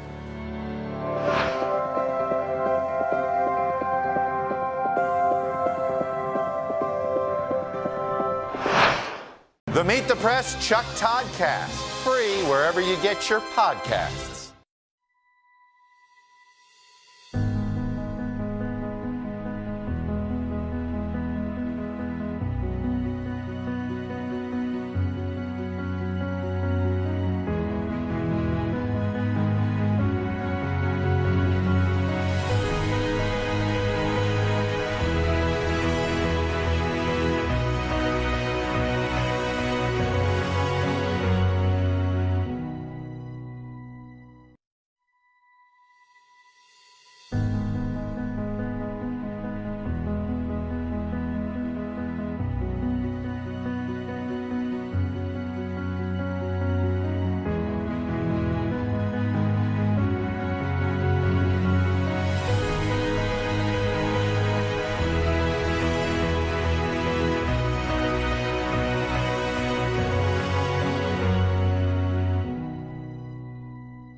Our week-long journey begins here in Orlando, Louisville, Kentucky, Cleveland. Our Across America journey reporting on an America rebuilding and reimagining a future after the pandemic. Good evening tonight from Geneva, just hours away from his historic summit. Over 16,000 unaccompanied children tonight in custody. What's victory look like in this, or what does improvement look like? It's going to be a challenge to meet that 70% goal. Why is it so challenging? NBC Nightly News with Lester Holt. Tonight, we're on the scene as the urgent search for survivors is underway after the deadly collapse of a high rise building. Buildings don't fall down in America like this. The Delta variant. What does this mean for people who are fully vaccinated? NBC Nightly News with Lester Holt. The Meet the Press Chuck Todd Cast, free wherever you get your podcasts. For breaking news in our changing world, download the NBC News app.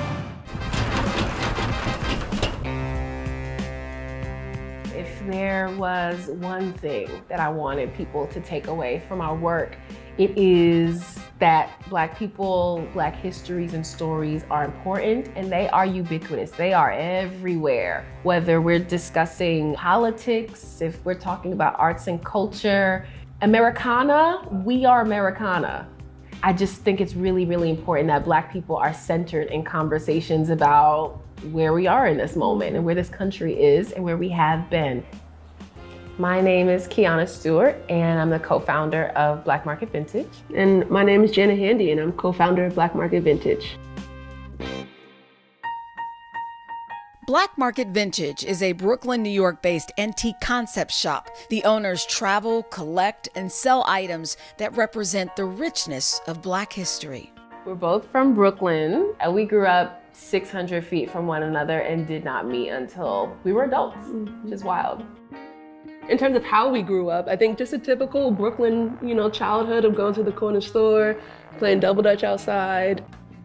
So we met at Rutgers University. I don't necessarily know that there was a moment that we knew that we were supposed to be more than friends. I was really intrigued by Jannah when I first met her, and it felt like I had known her I mean, a lifetime. There was a twinkle in her eye that almost I understood what it meant like. and so there was something that we were able to see beyond where we were to see kind of where we could end up. So I grew up going to vintage shops, thrift stores, stopping on the side of the road, you name it. My mom was stopping the car mm-hmm. and bringing stuff into the car to bring home. In these shops, Kiyanna and her mother rarely saw people that looked like them or items that represented their history. So going into antique shops and like, we are the only black people in the spaces. There's no black art on the walls. There's barely any black literature. Over time, Jannah joined Kiyanna on the quest to fill this void. They began traveling the country, collecting black art, black music, black literature, civil rights memorabilia and then in 2014 started selling it from their stoop and at flea markets. When we first started out, it, it was 100% a hobby. And, you know, weekend markets, getting up, setting up as vendors. And it, we really didn't see that there was a need to shift until the community kind of told us that. Demand for their products and interest in the history behind the items was so great, the next step was creating a consistent presence. We kept outgrowing ourselves to the point that we needed to, to you know, create the infrastructure to then go from a hobby to an online store to then a physical shop. In November 2019, they opened their brick and mortar shop. Our public opening, that really was like a full circle moment. You know, it was like Bed-Stuy is getting this gem of a business and folks who are community oriented, a place, you know, that folks can meet and gather and see themselves. There were folks in this space all day. There are just so many aspects of this work that we didn't necessarily imagine at the very mm-hmm. beginning. I did not envision that Lena Waithe would say after Queen and Slim, like, we need wrap gifts for the whole crew.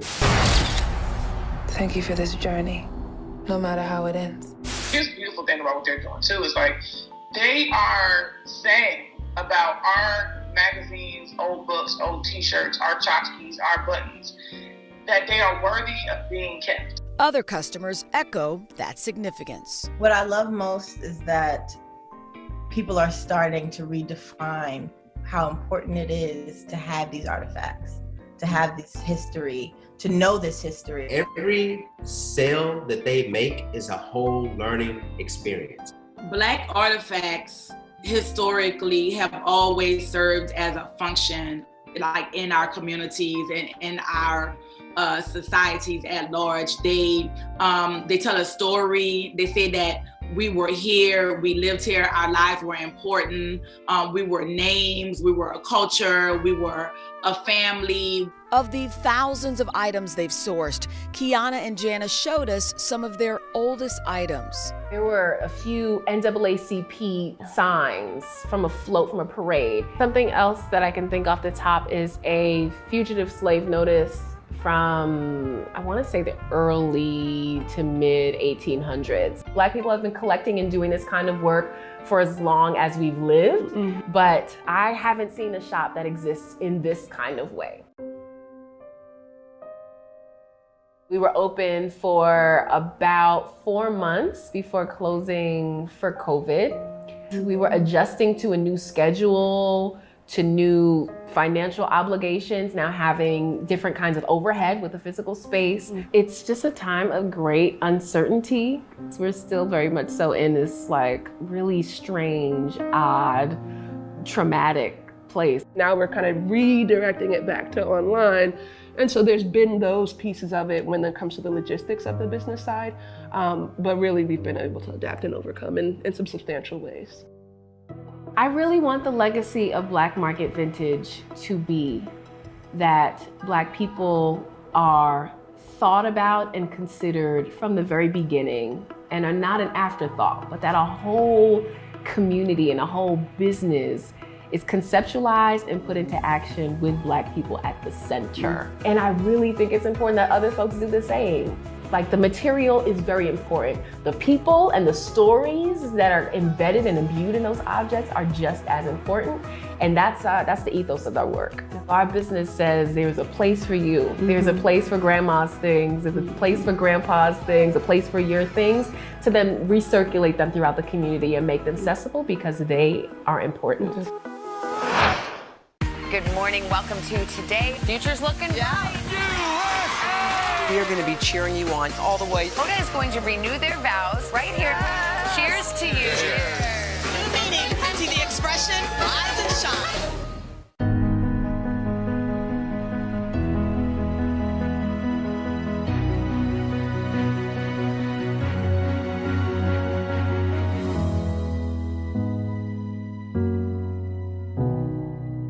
Good morning. Welcome to today. Future's looking bright.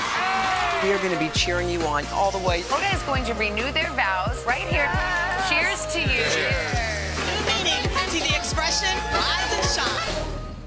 I'm rolling up my sleeves for science, so I'll survive if I can track this virus. For family dinners, family vacations, family anything. for traveling somewhere beyond my living room. And for the Rebels, there is no greater feeling than being in the stadium and cheering on Ole Miss. And now it's your turn. Roll up your sleeves, America. Plan your vaccine because every shot counts. Visit planyourvaccine.com and make your plan.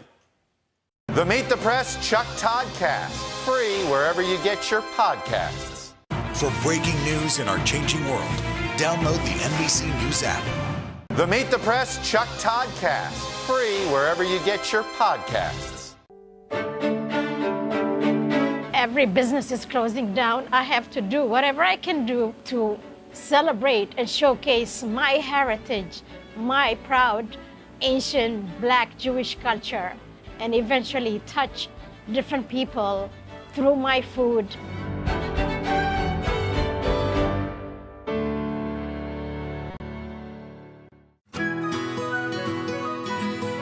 My name is Beejhy Barhany, the owner of Tsion Cafe, Ethiopian Mediterranean restaurant in Harlem, New York. The cuisine we serve at Tsion Cafe is a homage to my diverse identity and culture that I was brought up in. It's uh, celebrating my Jewish, my Ethiopian, and the New Yorker aspect of, of me. As an immigrant, it's very important to empower people within the community and really to help them pave the way and make it here in New York. I have great respect for new immigrants that just want to go and contribute to the community where they live. We opened Tsion Cafe in 2014. It's an establishment where you can nourish your body and soul. It's a place for healthy eating, a community gathering, and making a connection with different people. It's a place where you can come and listen to great music. This used to be the famous Jimmy's Chicken Shack, where in the high day of the Harlem Renaissance, musicians such as Art Tatum, uh, Hazel Scott, or Billie Holiday used to perform here. Different people were working here, such as uh, Charlie Parker, Redd Foxx, the comedian, and the leader, uh, Malcolm X, the live music, and the art shows from local artists, local musicians. That's how I honor the legacy of the Harlem Renaissance. I was born in 1976, Tigray, Ethiopia. Growing up in Tigray, it's very happy childhood uh, memories. It was a surreal, beautiful country, delicious food that early mornings I recall my mom roasting the delicious coffee in the house.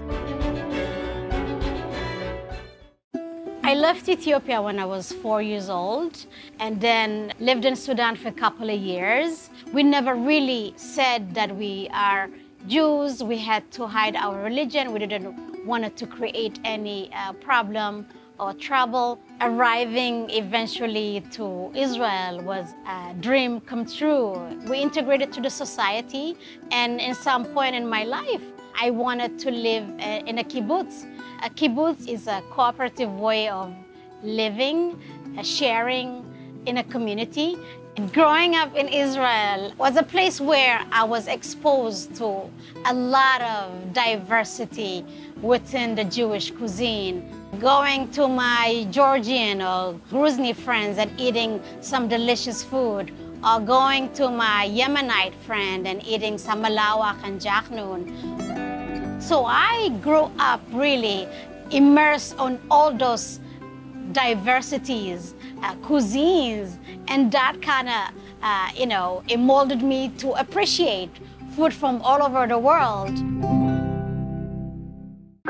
In the year of 2000, I came to New York when I was 21. I came to New York by myself, didn't know anybody. I just took a backpack and came here. My parents did come to New York for a couple of times loved it. The plan was for her actually when I decided to open Tsion Cafe to come and help me here and guide me. Unfortunately, uh, my mom passed away about uh, four years ago from cancer. She is a, a great influence to the person who I am today. And her picture is right there in honor of her. And I will do, you know, whatever I can to make sure that I continue that uh, rich legacy that my mom engraved in me.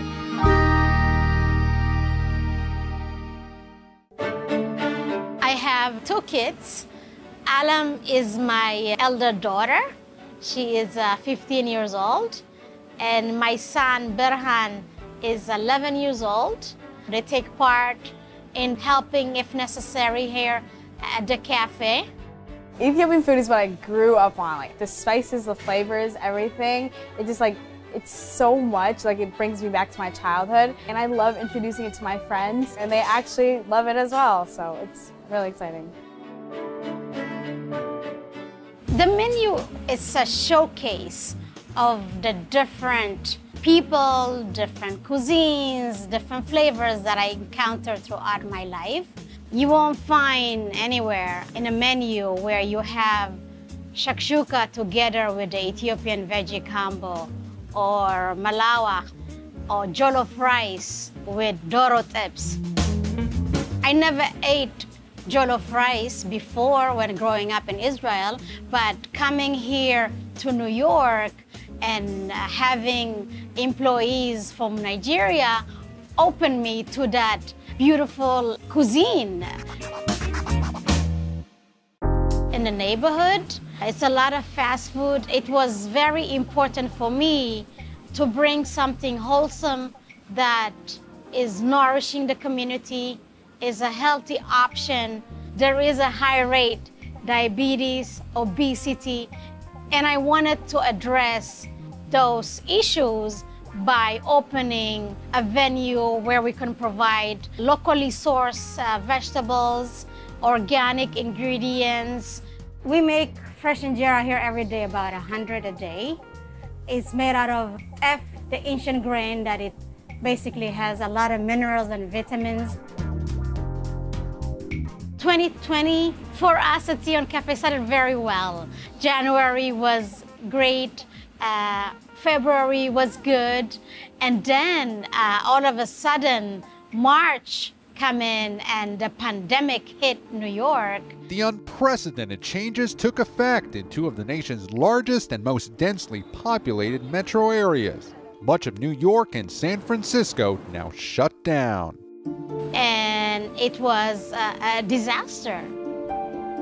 We started feeding frontline workers or anybody in need towards the end of March and then mid-April for the security of everybody, for the safety of my employees and myself, we really decided to close, shut down everything. The city providing this opportunity to open a roadside or sidewalk cafe, it's of course, uh, it's very helpful rather than, you know, depending only on takeout or deliveries. From 30, 40 tables, now you have about 10 tables. It's a big difference in terms of revenue intake.